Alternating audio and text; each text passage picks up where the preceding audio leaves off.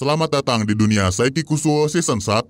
Cih, mendekuse. Pasti itu yang dipikirin sama dia nih. Sama si Saiki yang punya kemampuan dukun. Disebutnya cenayang sih, cuman ya... Dukun. Sejak kecil dia udah beda sama anak seumurannya. Umur satu bulan aja udah bisa jalan. Di udara. Umur satu tahun juga udah bisa jadi gopud. Terus mau nerbangin mobil buat nolongin. Wih! Pasti bisa dong. Pokoknya nggak ada kata mustahil buat Saiki. Tapi jangan dipikir kalau hidupnya itu seneng loh. Kenyataannya lebih banyak susahnya daripada enaknya. Wow. Orang tuanya juga kadang-kadang bikin gedeg. Ayahnya nggak dibolehin masuk soalnya lagi berantem sama si ibu. Jadilah Saiki harus jadi juru kunci. Ceklek. Dek nggak mau jadi maling aja dek. Bodoh. Next. Si ibu nggak nganggap kehadiran suaminya sama sekali. Mereka terus saja berantem. Padahal dulu mesra banget kayak Diz. Kalau sekarang sih ngasih makan seadanya dan kalau ketahuan makan makanan punya Saiki, modar lu anjing. Saiki sebenarnya bisa bikin mereka baikan lagi soalnya dia bisa baca pikiran. Tapi dia lebih milih buat makan kopi puding kesukaannya. Dia bahkan gak rela ada yang jatuh secuil aja. Cuman berhubung si ibu udah kesurupan, Saiki akhirnya mau bikin mereka baikan. Daripada pudingnya jatuh lagi ya. Mereka ini bilang saling benci padahal aslinya, I love you papa. Inilah kekuatan Saiki yang bisa ngeliat isi hati orang. Atau ngedenger ya. Ya itulah pokoknya. Selain ngeliat isi hati orang, dia juga bisa bisa loh bikin orang buat ngedenger isi hati orang lain. Ribet amat penjelasannya sih. Intinya orang tua Saiki sekarang udah baikan. Hadiah baikan mereka ya pudingnya Saiki. Langsung si dukun pink.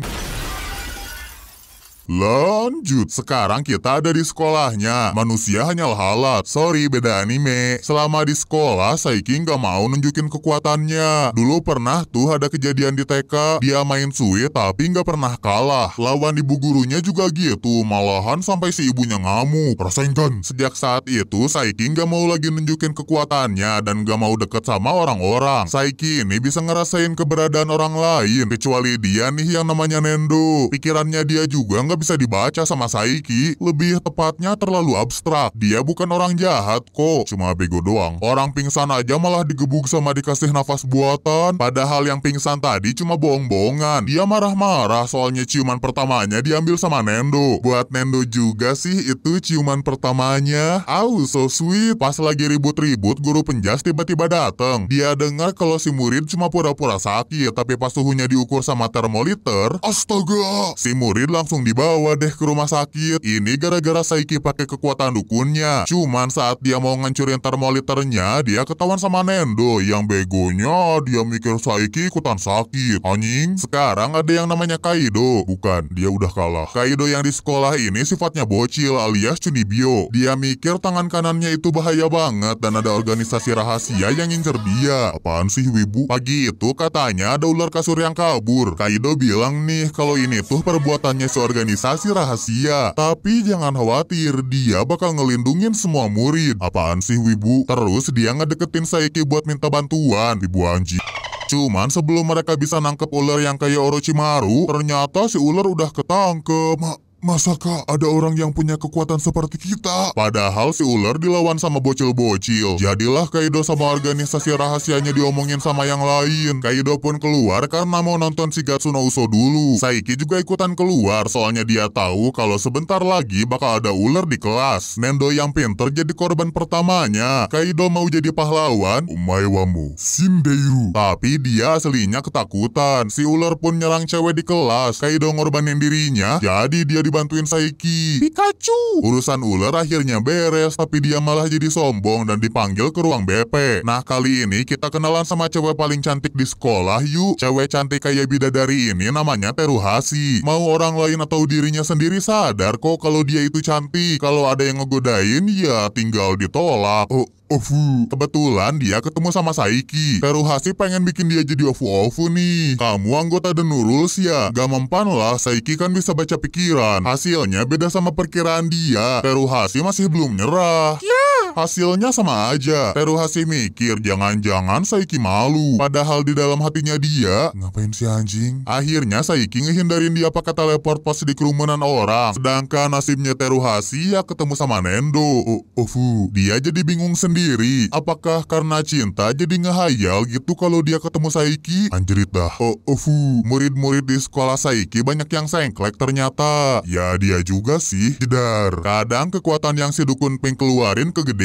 Hari ini ada pelajaran olahraga. Yang paling semangat tuh dia tuh, si KM kelas yang namanya Hairo. Semangatnya bisa bikin suasana kelas jadi rame. Kelas dibagi dua soalnya mau main lempar bola. Pertandingan pun dimulai. Hairo terus semangat, Saiki malah ngalah. Cuman gara-gara kena muka jadinya safe. Sekarang Saiki kebagian ngelempar padahal kekuatannya susah diatur. Hairo malah nyuruh lempar sekuat tenaga. Nyeri mati lu. Jadinya sih ngelempar biasa. Woi bangsa.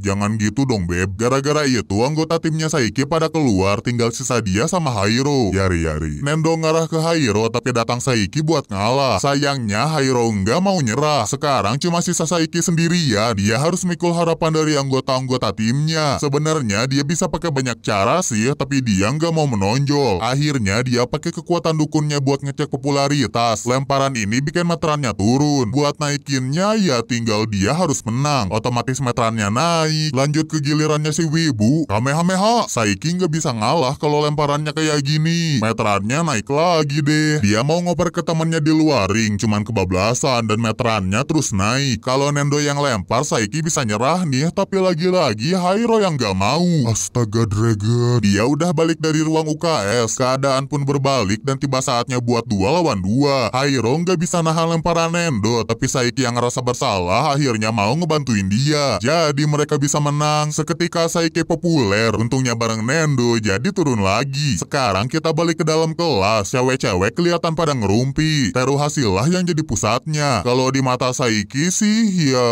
Titan. Gara-gara ini mungkin Saiki nggak bakal bisa jadi bucin. Walau sebenarnya ada yang bucin ke dia. Cewek yang namanya Cio ini cinta sama Saiki. Dia nyoba bikin Cio ilfeel. Jadilah mereka duel buat ego masing-masing. Cio mau pakai scene anime tabrakan di koridor, tapi lawannya Saiki gitu loh. Wush, kertasnya balik lagi, rencananya gagal maning. Lanjut ke rencana selanjutnya, Cio mau jatuhin Kanebo deket Saiki, cuman ya lagi-lagi. Wush, Kanebonya udah balik ke tempat semula. Semua rencananya gagal total. Untung alam berpihak sama dia. Saiki pasti nggak bawa payung, bisa jadi kesempatan. Tapi ya balik lagi, lawannya Saiki sedukun. Kirin, seketika hujan reda, begitu pula kisah cintanya Cio. Sekarang kita lihat kondisi keluarganya Saiki. Si ayah minta Saiki buat ngangkat barang soalnya dia lagi gendong si ibu. Ayah digendong di keranda mau. Gara-gara berantem kemarin, kamar mereka tuh jadi misah. Sekarang pengen bobo bareng lagi. Kekuatannya Saiki sih ngebantu banget ya kalau keadaannya gini. GGZ, bruk. Barang-barang akhirnya beres dipindahin, tapi sekarang mereka nggak bisa ke balkon. Saiki disuruh buat mindahin barang lagi. Cuman masih ada masalah, lemarinya nggak bisa dibuka. Lembur bos, masalahnya masih belum beres. Mereka nggak bisa keluar kamar. Pilihannya yang ngancurin tembok. Jadi lucu deh. Biar udah gitu juga si bapak masih belum puas buat mindahin barang. Yang kerjanya Saiki sih, gara-gara nggak beres-beres, si ibu ngasih saran buat pindah kamar aja dan si bapak setuju banget. Tapi gara-gara si ibu yang minta, jadinya diyain aja. Saiki ngembaliin keadaan seperti semula, termasuk barang-barang yang udah dipindahin soalnya dia ngebalikin waktu. Anjay punya time stone. Sekarang baru jamnya masuk sekolah. Si guru penjas ngerazia semua murid yang dateng. Terus Saiki yang rambutnya pink bakal lolos gitu. Oh ya jelas. Rambut pinknya ini bawaan lahir. Nah supaya nggak mencolok, Saiki pakai kendali pikiran biar yang lain nganggep kalau dia rambutnya normal. Antena yang dipakainya juga jadi nggak mencolok. Kekuatan kendali punya potensi yang nggak terbatas, termasuk nyembuhin luka pakai kekuatan sugesti. Jadi luka sembuh tuh gara-gara Saiki, bukan gara-gara anime komedi. Baju sobek tapi bagian bawah utuh atau jurus chop yang bisa bikin pingsan juga gara-gara dia. Sebenarnya Saiki bisa aja ngelepas kendali pikirannya, tapi ada kondisi kayak gini yang kadang-kadang terjadi. Akhirnya Saiki tetap milih buat terus begini aja. Balik dari sekolah, dia ngeliat magician yang lagi sulap di taman. Triknya langsung kebongkar sih sama dia. Cuman gara-gara si magician kelihatan antusias, Saiki jadinya nonton dulu. Pertama ada kotak biasa, tapi bohong. Begitu kotaknya dibuka, koplak-koplak menarik kan? Yain aja. Kayaknya si magician lupa sama burung burung di topinya soalnya malah lanjut ke sulap berikutnya. Dia mau bikin orang teleport dari box kiri ke box kanan. By the way, ini asistennya. Si asisten langsung masuk ke box. Penonton pada penasaran, Saiki langsung ke spoiler. Mana si magician pede banget lagi. Burung lu kasihan woi. Si magician mau buka box tapi asistennya belum siap. Dan pas boxnya dibuka, ada Si asisten keluar dari tengah. Nani? Gara-gara itu penonton pada bubar. Saiki langsung nyuruh si magician buka topi. Untung aja burungnya masih hidup. Dia jadi utang budi sama Saiki dan nyeritain alasannya mau jadi magician. Sebelumnya dia cuma karyawan biasa. Tapi gara-gara dipecat sama keluarganya ninggalin dia, si magician jadi kehilangan semuanya. Dari situ dia nganggep jangan-jangan punya bakat buat bikin barang jadi hilang. Gelap anjir. Oh iya, si magician juga nganggap Saiki mau belajar jadi magician gara-gara dia masih ada di sini. Kesempatan bagus lah bagi Saiki biar nyadarin si magician buat berhenti. Saiki mau ngeluarin sesuatu dari Si magician nyoba tebak sulapnya Saiki, cuman yang keluar adalah si asisten. Homina, homina, homina. Akhirnya si magician sadar sama kemampuannya, jadi dia mau berguru sama Saiki. Sudah kuduga. Lanjut, Saiki suka banget nih nonton TV soalnya nggak bakal ke spoiler sama kemampuan baca pikirannya. Dia ganti channel ke film kesukaannya, tapi malah ada acaranya si magician. Terkejut, si magician mau sulap kabur dari box yang ditusuk, diangkat, dibakar, digeleng. Daijobu, khawatirnya ini kan siaran langsung, mana kesandung pula. Bener gak apa-apa? Si magician punya waktu 5 menit buat kabur, tapi baru mulai aja udah ada kesalahan teknis. Saiki makin khawatir dong dan langsung nolong si magician, walau aslinya si magician udah keluar. Sekarang malah Saiki yang kejebak. Dia juga nggak bisa teleport lagi gara-gara skillnya cooldown. Wush, Saiki harus ngehindarin 20 tusukan pedang, masih EZ. Sekarang boxnya mau dijatuhin dari atas. Hup, lah gampang. Terus boxnya dibakar nih. Uh, dingin. Terakhir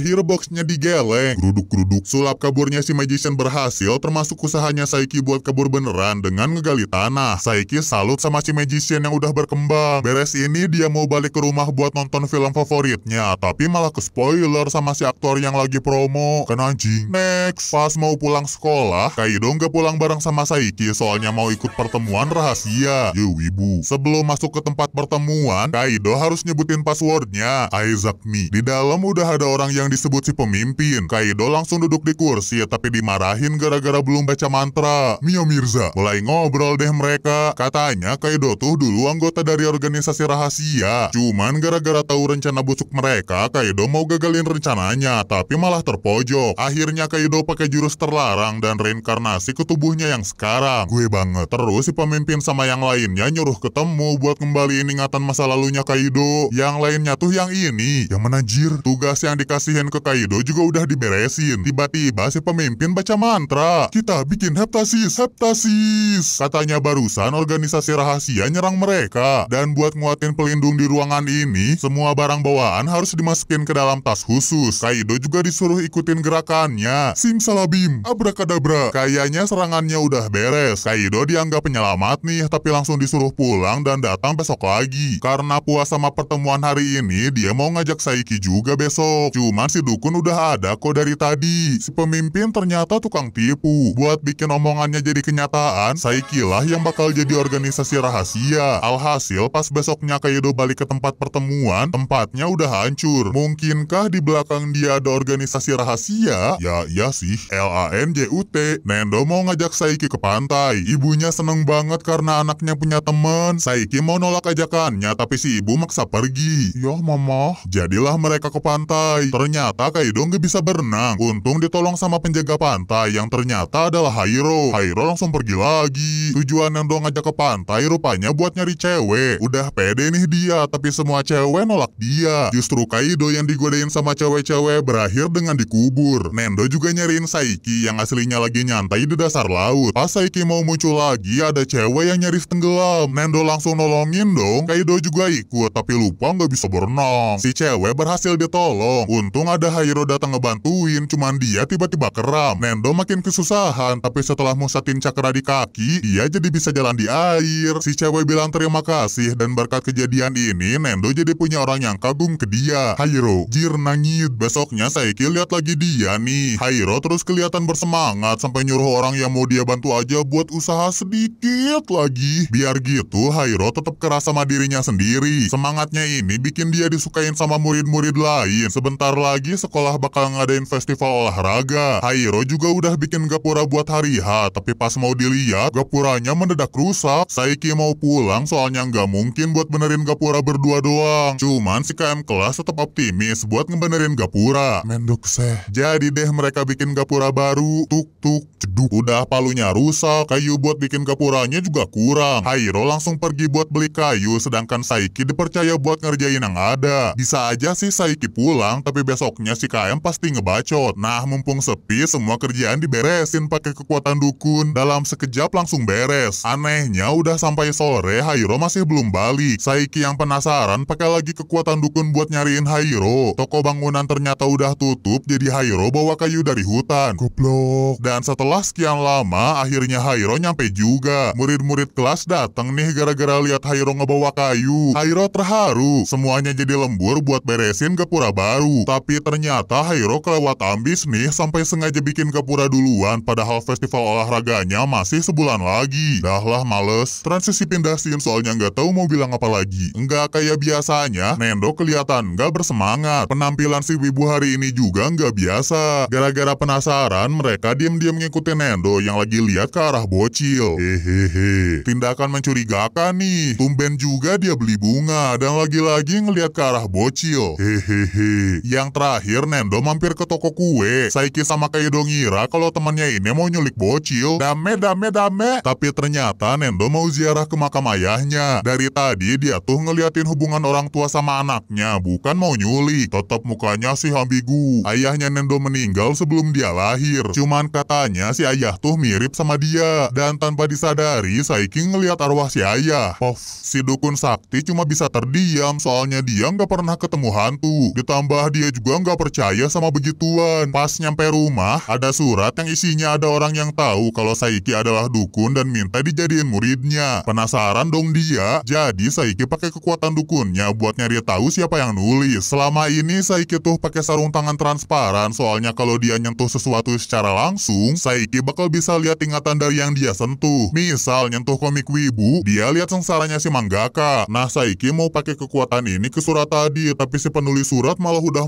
masuk ke kamarnya. Dia namanya Toritsuka, dukun yang bisa lihat hantu. Saiki sih nggak bisa lihat mereka, cuman katanya Toritsuka ada banyak hantu di kamar ini. Malahan ada yang ngasih oleh-oleh. Toritsuka punya kekuatan ini sejak kecil dan suka kesusahan ngebedain mana orang mana hantu. Neneknya bilang sih hantu nggak bisa disentuh. Nenek, bejir tembus. Mau meluk kakeknya, bejir tembus juga. Sejak itu dia punya kebiasaan buat nyentuh-nyentuh orang. Lebih kedoyan deh. Terus dari para hantu, Toritsuka tahu kalau Saiki adalah dukun. Dia ngiri sama Saiki yang punya kemampuan lihat tembus pandang. Berhubung Saiki bisa baca pikiran, Toritsuka langsung bilang kalau dia mau belajar buat ngintip atau Anita Maxwin, Anita Maxwin. Toritsuka jadinya diusir gara-gara ngeremehin kemampuan dukun. Cuman Saiki nggak sengaja megang tangannya dia tanpa sarung tangan transparan. Alhasil Saiki bisa ngelihat hantu. Kembang wa. Penderitaannya Saiki belum berakhir. Toritsuka ternyata jadi murid baru di sekolahnya. Langsung diancam lah dia supaya nggak cepu tentang kekuatan dukunnya Saiki. Celeb hal mudah buat si dukun Pink kalau mau macam-macam sama orang yang ganggu kehidupannya. Kalau kemampuan dukunnya Toritsuka sendiri sih boleh dia umbar. Makanya dia langsung terkenal. Murid-murid minta diliatin stando mereka. Yang cewek-cewek beneran diliatin sama dia, tapi yang cowok-cowok sekilas doang. Cuman Toritsuka kaget pas ngeliat kodamnya si wibu yang abnormal yang ternyata adalah Chihuahua. Awik wok wibu. Nendo juga minta diliatin standonya tapi nggak dianggap sama Toritsuka. Gitu aja terus sampai pulang sekolah. Dia langsung marah dan mukul Nendo yang ternyata bisa dipegang. Toritsuka ngiranya Nendo adalah hantu. Alasannya sederhana sih soalnya standonya dia tuh ayahnya Nendo. Yang sabar ya, jadi dukun emang susah. Tapi kalau Saiki bangun tidur dan kekuatan dukunnya tiba-tiba hilang, mungkin bakalan seneng. Gak bisa telepati, terbang, atau pakai tinju mas botak. Gak lama ada suara ledakan di luar. Seketika dia bangun lagi yang tadi cuma mimpi dan masih bisa terbang. Kejadian barusan sebenarnya sebuah ramalan yang bakal terjadi. Saiki udah sering dapat ramalan. Berkali-kali juga udah nyelamatin dunia tanpa orang-orang sadarin. Kejadian kali ini penyebabnya adalah sebuah batu. Katanya semenit lagi bakal ada cewek yang lari gara-gara telat UTBK.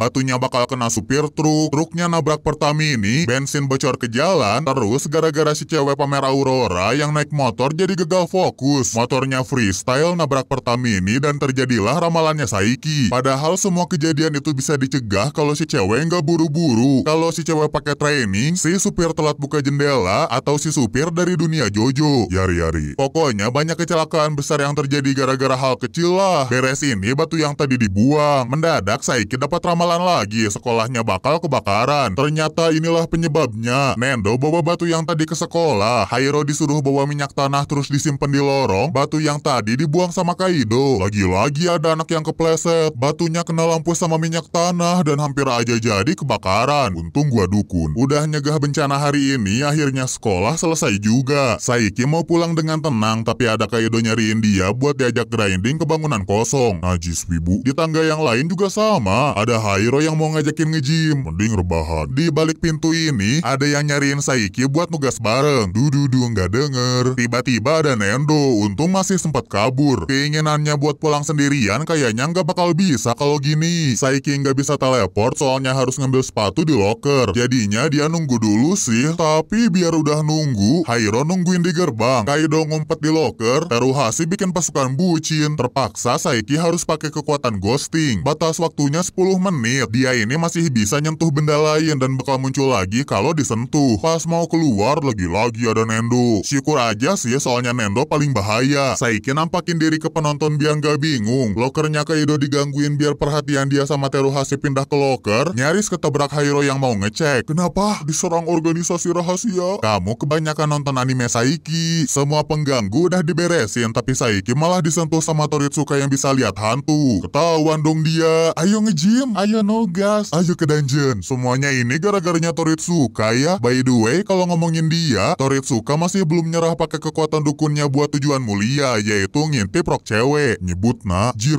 diceramahin hantu. Balik ke sekolah, Toritsuka mau mamerin lagi kekuatan dukunnya ke ciwi-ciwi, tapi ya mereka bosen juga. Daripada ngomongin hantu, ciwi-ciwi bilang baju olahraga punya temennya hilang. Sumpah bukan gua, mananya woi. Langsung deh Toritsuka nawarin buat nyari bajunya. Kalau bisa nangkep si pelaku, pasti bisa terkenal. Hehehe. Lihat baju cewek nggak om? Ngintip lu ya. Gua bantu nyariin cuk. Kata si hantu ini, dia lihat ada yang bawa baju cewek lewat koridor. Dikejarlah si pelaku, tapi ada hantu yang tadi pagi ceramah ngalangin Toritsuka. Si hantu ternyata roh pelindungnya si pelaku. Cuman mau dihalangin juga kalah mekanik bos. Si hantu terus mohon biar Toritsuka mau ngelepasin si pelaku. Sayangnya gara-gara mereka dari tadi berisik, si pelaku udah kabur. Sialnya cewek-cewek ada di sini. Anak anjing.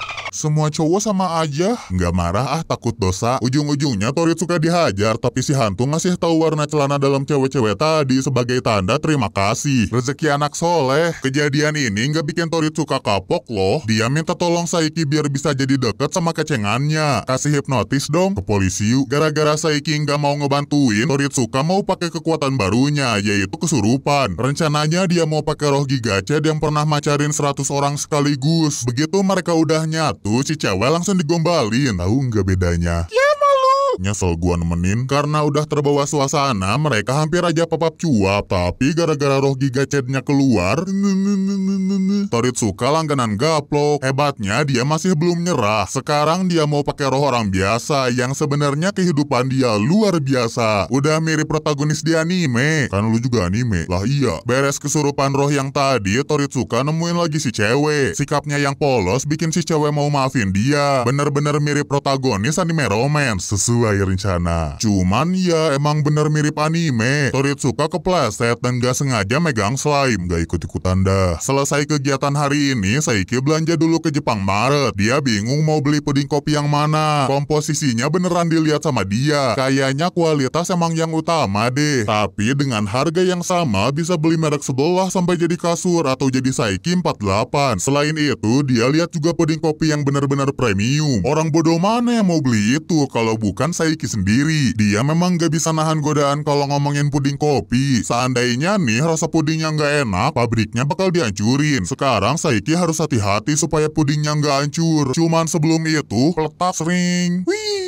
Untung pudingnya masih aman. Yang gak aman sih yang lempar bola, yang ternyata adalah Nendo. Akhirnya ya dimaafin. Mereka lanjut nyari bola punya si bocil. Cuman biar udah pakai biakugan buat nyarinya tetap nggak ketemu. Terus si bocil cerita kalau bolanya tuh peninggalan kakeknya. Saiki yang ngerasa bersalah pakai kekuatan foto buat nyari bola dan ternyata bolanya tenggelam. Kalau udah ketemu dia bisa nuker bolanya pakai barang yang nilainya sama. Cuman yang jadi korban ya puding kopinya Saiki soalnya di bolanya ada tanda tangan artis. Si dukun puding kopi cuma bisa ikhlas. Dan pas pulang ke rumah si bocil tadi sama kakaknya ngasih hadiah puding kopi karena udah ditolongin. Tumben belum ngelawak lagi, kehabisan ide. Lanjut, balik lagi ke sekolahan, cowok-cowok di kelas lagi ngobrolin gantungan kunci yang kawaii. Segini dibilang kawaii the fuck. Gantungannya jadi disita sampai rusak sama yang lain juga. Kabar pak, kebab pak, beli tiga. Semuanya disita sama guru penjas. Kelihatan juga dia kayak mainin barang sitaannya. Murid-murid yang benci sama si guru mau ngejailin dia dengan nyimpen surat cinta di loker sepatunya si guru. Teruntuk bapak tercinta, maaf sudah menulis surat ini tiba-tiba. Ada yang ingin saya bilang ke bapak. Sejujurnya saya sangat cinta sama bapak. Saya tunggu bapak di belakang sekolah ya. Ya nulisnya dia nih. Cih, najis. Mana ada yang datang coba? Lah datang. Asalnya Saiki yang tahu keisengan mereka mau cepu ke si guru. Tapi dia batalin maksudnya itu soalnya Saiki udah tahu isi hati gurunya. Enggak lama kemudian muncul seorang anak cewek. Gua coba oi. Oh iya maaf. Muncul seorang anak cowok. Saiki bisa ngubah dirinya jadi apa pun. Dia muncul sebagai cewek supaya masalah ini cepat selesai. Terungkap si guru sengaja nungguin si penulis surat bukan buat nerima cintanya, tapi buat ngasih pelajaran sebagai seorang guru. Saiki yang kesel ditolak bapak-bapak ngeliatin tempat murid-murid tadi sembunyi deh. Akhirnya mereka minta maaf sama si guru. Gantungan yang tadi disita juga dikembaliin. Sebenarnya waktu di ruang guru, dia tuh ngebenerin gantungan kunci yang rusak. Alhasil semua jadi ngefans sama si guru penjas juga sama Saiki cewek. Haduh, kalau urusan peraturan sekolah, sekolahnya Saiki memang ketat banget sih. Ada cewek di kelas yang namanya Merah. Dia selalu nolak ajakan buat nongkrong. Alasannya ya karena dia harus kerja part-time buat bantu ekonomi keluarga. Merah kaget waktu ngelihat Saiki di tempat kerjanya soalnya part-time dilarang sama sekolah. Bentar mubazir. No. Pesanannya Saiki jadi dibikin ulang. Merah juga minta Saiki buat ngerahasiain kerjaannya. Termasuk kerjaan nganter koran, susu pegawai Pertamini, restoran, babysitter, guru les, anda sehat? Saiki juga nggak tega sih, apalagi merah terus ngeliatin puding kopinya Saiki. Akhirnya ya dikasihin ke dia. Duh jatuh, belum 5 detik. Enya, Saiki memang bisa jaga rahasia, tapi kalau gurunya datang tiba-tiba, masang muka marah, terus ngeliat merah lagi kerja part-time, ya nggak apa-apa dong. Sekolah juga ngizinin kok. Semua ini kerjaannya Saiki yang pakai kendali pikiran buat ngubah peraturan sekolah. Anggap aja ucapan terima kasih puding tadi. Di perjalanan pulang, dia lagi lihat orang yang ngelus-ngelus kucing. Saiki bukan fans binatang sih, soalnya semua sama aja. Apalagi kucing suka jadi majikan. Nggak jauh dari situ ada kucing yang lagi kejepit. Prik anjir. Si kucing keheranan. Ada gitu orang yang gak mau ngelus dia. Si kucing tambah kaget soalnya Saiki bisa ngerti apa yang dia bilang. Tadinya si dukun mau nolongin si kucing. Tapi gara-gara si Oren terus kelihatan sombong, Saiki pergi dari situ. Tunggu-tunggu. Nanti gua bolehin elus deh. Kucing anjir. Pokoknya bukan sifatnya si Oren buat minta tolong. Bukan sifatnya kucing yang disembah sama semua orang. Ya udah GWS. Saiki ngasih kesempatan terakhir asal si Oren mau minta tolong. Jit, ya dah ya, tolongin bang.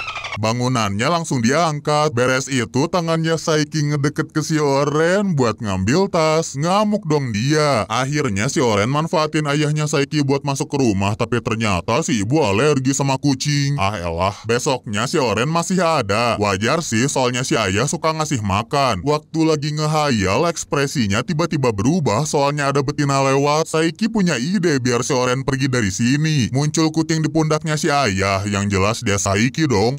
Cuman si ayah nggak sadar. Gara-gara jarang jadi hewan, kekuatannya masih susah diatur. Lu mau jadi jagoan ya? Maksudnya Saiki jadi kucing sih buat bikin si Oren jadian sama si betina. Kelihatan banget soalnya si Oren lagi jatuh cinta sampai mau... Hmm, untung lu kucing. Rencananya Saiki mau gangguin si betina biar si Oren kelihatan jagoan. Tapi malah salah paham gara-gara si Oren datang duluan. Bener-bener salah paham apalagi Saiki nggak sengaja mukul si Oren. Akhirnya si betina jadi suka sama dia. Si Oren dendam sama kucing Saiki dan si ayah punya dua majikan yang punya kebiasaan unik tuh bukan si ayah doang tapi si ibu juga yang hobi ditipu sama sales. Jutaan orang bahkan tidak menyadari. Udah banyak barang palsu yang dibeli si ibu yang sebenarnya tinggal bilang ke Saiki. Dia bisa madamin api langsung, bisa ngeraih tempat tinggi, malahan bisa terbang. Ada juga telepon masuk yang bilang si ayah ditahan polisi. Padahal dia baru aja pulang. Si ibu ngerasa bersalah banget udah ngehambur-hamburin uang. Si ayah nggak masalah sih, cuman ya...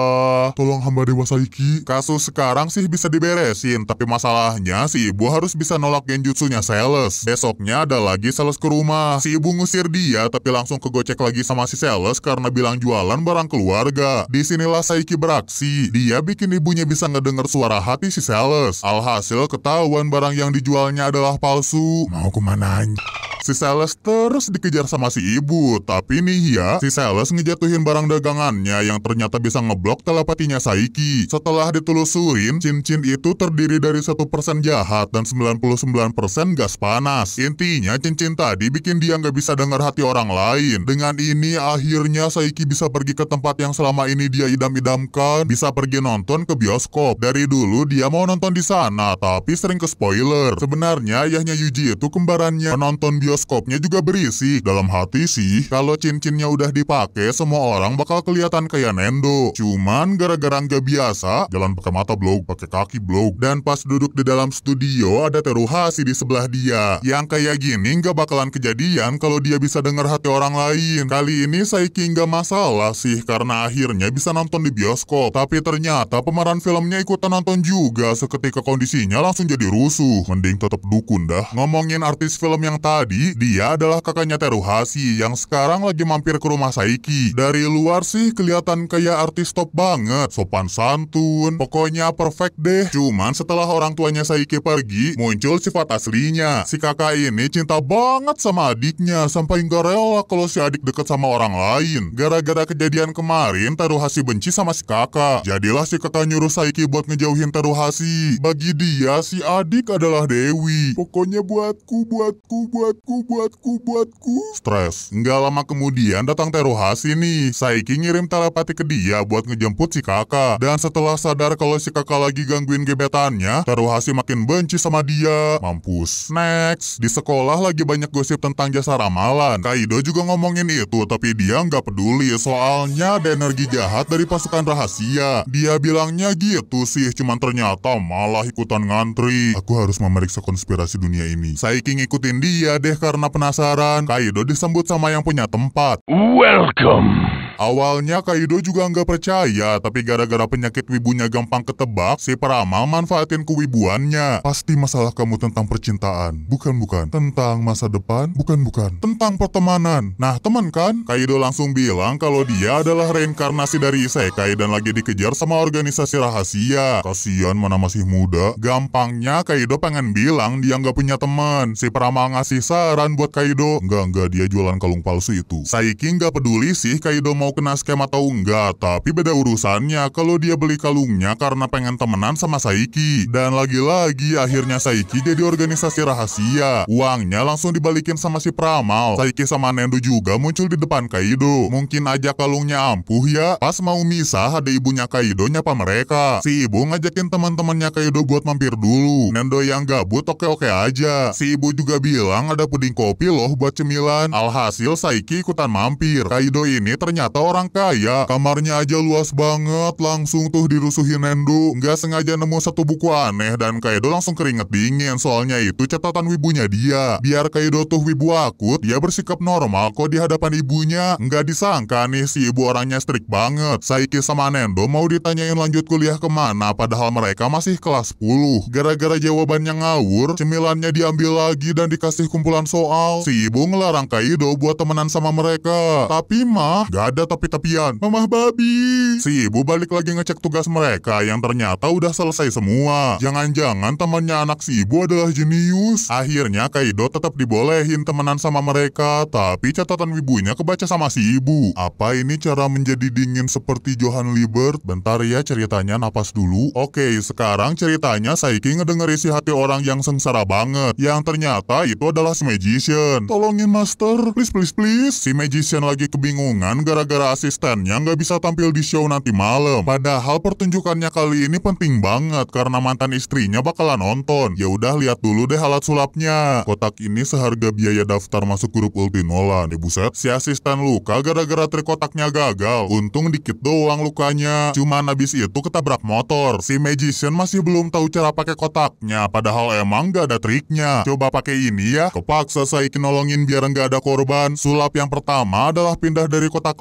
lagi. Begitu Saiki masuk ke dalam, ternyata ada jalan rahasia di panggung. Sayang pintu di kotak sebelah nggak bisa dibuka. Dan setelah aba-aba dari si magician selesai, wush, ngelag jir, sulap cuy, ngecit cuk. Untung pertunjukannya tetap sukses. Abis itu muncul Nendo dan si magician mendadak terharu. Muncul flashback tentang masa lalunya si magician yang dulu kerja sebagai orang kantoran. Kehidupannya ngebosenin banget sampai dia ketemu sama ibunya Nendo. Akhirnya mereka mutusin nikah, tapi langsung cerai karena si magician dipecat dan sering ngamuk-ngamuk. Sekarang si magician mau ngeliatin kerja kerasnya buat nebus kesalahan dia. Jangan dimainin nak. Ya, ini ibunya Nendo. Saiki yang pusing sama ini mau pulang, tapi masih ada pertunjukan babak kedua. Si magician janji buat ngasih pertunjukan paling hebat supaya ibunya Nendo mau rujuk. Saya nggak berharap loh. Ih, geli. Kali ini pakai trik kotak yang nggak ada triknya. Kalau tetap pakai gergaji, nanti bakal Saiki bengkokin, dibalikin gergajinya dan jadi tulang lunak. Cuma Nendo pengen jadi asistennya nih. Biar Nendo nggak ganggu, si ibu mutusin buat pergi. Paksa dong si magician milih Nendo sebagai asisten. Bantuinnya gimana jir? Ujung-ujungnya si magician nyerah dan gak ngelakuin triknya yang belum sempurna. Penonton pada pergi, dia juga dihajar. Kabar baiknya ibunya Nendo ngehargain usaha si magician. Dia ngasih tabungan yang dulu pernah diambil pas cerai. Akhirnya punya modal buat daftar grup, balikin duitnya anjing. Beberapa hari habis pertunjukan ini, malam Natal tiba juga. Di balik banyaknya pasangan malam ini, isi hati mereka tuh busuk-busuk. Akan kuporoti hartanya. Asik nembah cabang. Kemeriahan Natal bukan ada di kota doang, tapi juga di rumahnya Saiki. Dan di malam Natal sekarang ada Nendo di rumah dia. Nggak lama dari itu,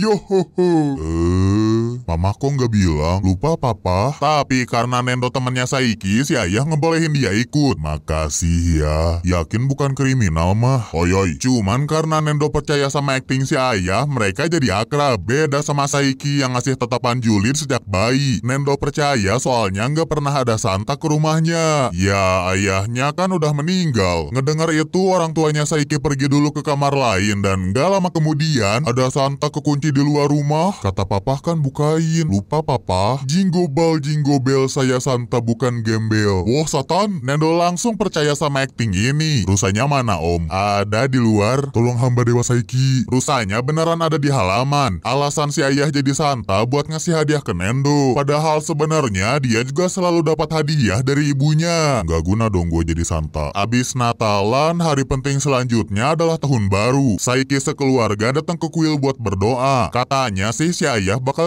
ngedoain hal yang sama sama si ibu. Cuman pas mulai berdoa, semoga tuh demun ya Dewa Saiki. Oi oi, Saiki sih nggak berdoa karena punya kekuatan dukun. Tapi kalau nanya hal yang diminta, dia minta satu hari yang tenang yang nggak akan mungkin terwujud. Tiba-tiba ada Kaido di kuil. Dia bingung mau jadi mode wibu atau normal. Si ibu senang soalnya doanya biar Saiki banyak teman baru aja terwujud. Sekarang giliran Kaido yang berdoa. Semoga banyak teman. Dan beres itu, aku baru mengalahkan dewa. Ternyata doanya Kaido juga dijawab. Hairo ikut ngumpul sama mereka deh. Lanjut ke giliran si KM berdoa. Semoga bisa dapet rival. Yang jawaban dari doanya adalah Nendo. Sudah kuduga. Nendo juga mau berdoa di kuil, tapi caranya salah. Diajarin sama si ayah. Semoga Saiki dapat pacar. Jelas dong siapa jawaban doanya, yaitu Teruhasi. Si ayah aja sampai kaget. Saiki yang gak mau ngumpul-ngumpul langsung pulang, tapi mereka malah diajak pesta ke rumah. Oh iya, Teruhasi sih gak akan berdoa. Tiap tahun dia datang kuil cuma buat jadi dewi. Sekarang rumah tempat Saiki istirahat udah jadi tempat rumpi. Si ibu terharu banget nih sampai nggak sengaja bilang Saiki itu seorang dukun. Apa? What? Nani? Cuma apal tiga bahasa. Suasananya jelas jadi aneh. Si ayah berusaha ngalihin obrolan tapi malah makin suram. Jadi Saiki numpahin gelas biar cepet beres. Nggak kerasa hari udah malam dan mereka izin pamitan. Di tengah jalan mereka ngobrolin lagi omongan si ibu tentang Saiki yang seorang dukun. Harus Saiki nih yang turun tangan langsung. Pas sudah misa, si dukun pink mukul temennya pakai pentungan ajaib yang bisa ngilangin ingatan. Cuman efek sampingnya ingatan tentang dukun bukan hilang, tapi keganti sama ingatan lain. Tiap orang efeknya beda-beda. Kaido jadi ngira si ibu bilang Saiki tuh wibu kayak dia. Salam ninja. Teruhasi ngira Saiki susah percaya sama orang. Hairo ngiranya Saiki pernah jadi ketua klub tenis yang punya obsesi buat menang, tapi dijauhin teman-temannya gara-gara terlalu ambis. Sisanya Nendo sih, tapi nggak tahu dia ngiranya apaan. Mau gimana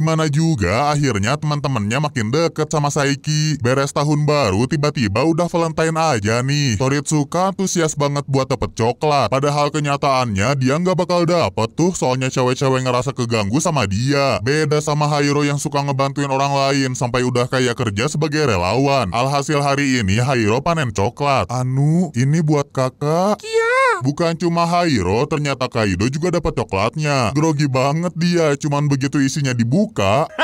Kaido kecewa berat, tapi kekecewaan itu langsung berubah karena ada yang ngasih coklat ke dia. Cih, pecundang. Gua aja nggak dapet. Kedengeran ribut-ribut di lorong, cowok-cowok ngincer coklat dari Teruhasi. Becanya sis, kepaksa dia sembunyi dulu di WC.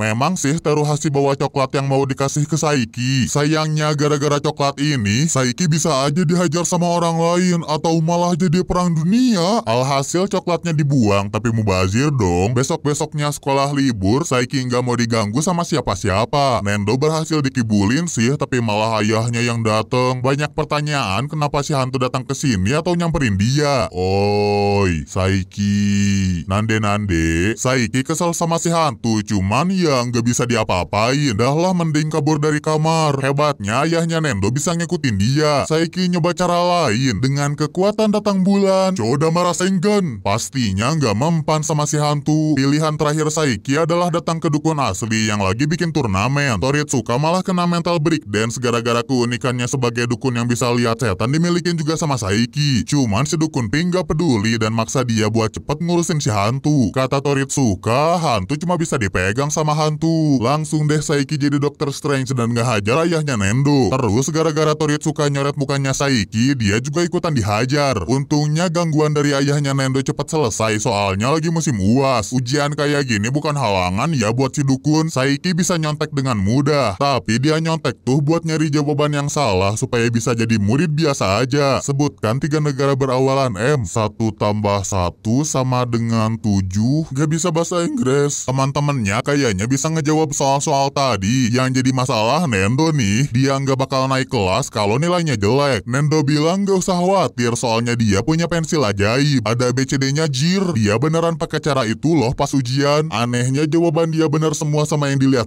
Saiki. Ini adalah perbuatan ayahnya Nendo, padahal harusnya si hantu nggak ngenalin anaknya. Dan berkat itu, Nendo bisa dapat nilai yang lumayan. Keungkap juga pensilnya Nendo tuh peninggalan dari ayahnya, jadi si hantu mau ngebantuin anaknya. Ngomongin nilai, Hairo dapat peringkat 6, Kaido dapat peringkat 51. Yang kasihan sih Saiki, dapatnya lebih jelek dari Nendo. Gua ngepur anjing.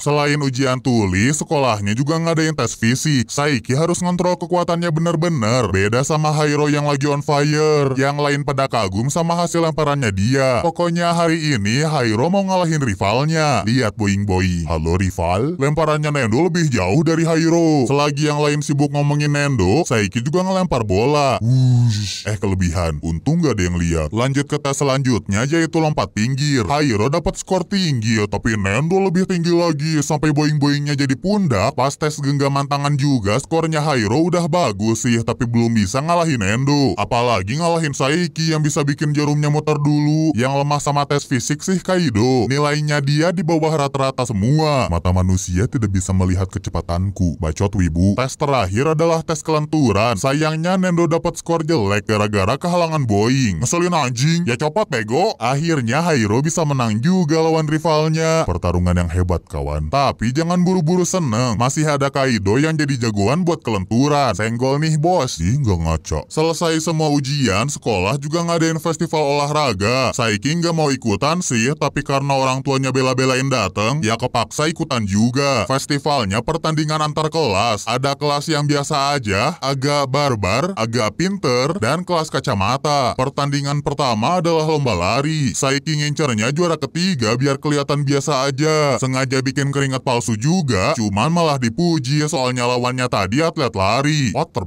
man? Lanjut ke gilirannya si Wibu. Jurus hembusan angin, dapat posisi terakhir. Abis ini ada karakter baru, gak usah dikenalin kali ya, soalnya di animenya juga nggak dikenalin. Cuman karena dia dapat kesempatan lari bareng Teruhasi, apalagi disemangatin sama si Dewi, dia menang di pertandingan kali ini. Makasih ya figuran. Terus gilirannya Nendo maju nih. Semoga kalah, semoga kalah. Dia harus nyari barang sesuai petunjuk kertas. Anehnya Nendo datang ke tempat mereka. Tiba-tiba nyebut antenanya Saiki yang bikin dia langsung pingsan. Semua khawatir banget dong ngelihat keadaan si Dukun Pink. Di saat yang sama, sistem satelit NASA jadi error. Di negara lain juga sama. Cosmic Garo sudah dekat. Jir multiverse. Cuman sebelum hal buruk terjadi, antenanya Saiki dibalikin lagi dan keadaan kembali seperti semula. Gara-gara ini Saiki jadi nggak bisa ngontrol kekuatannya. Sebenarnya antenanya dia tuh alat buat nahan kekuatannya yang semakin OP.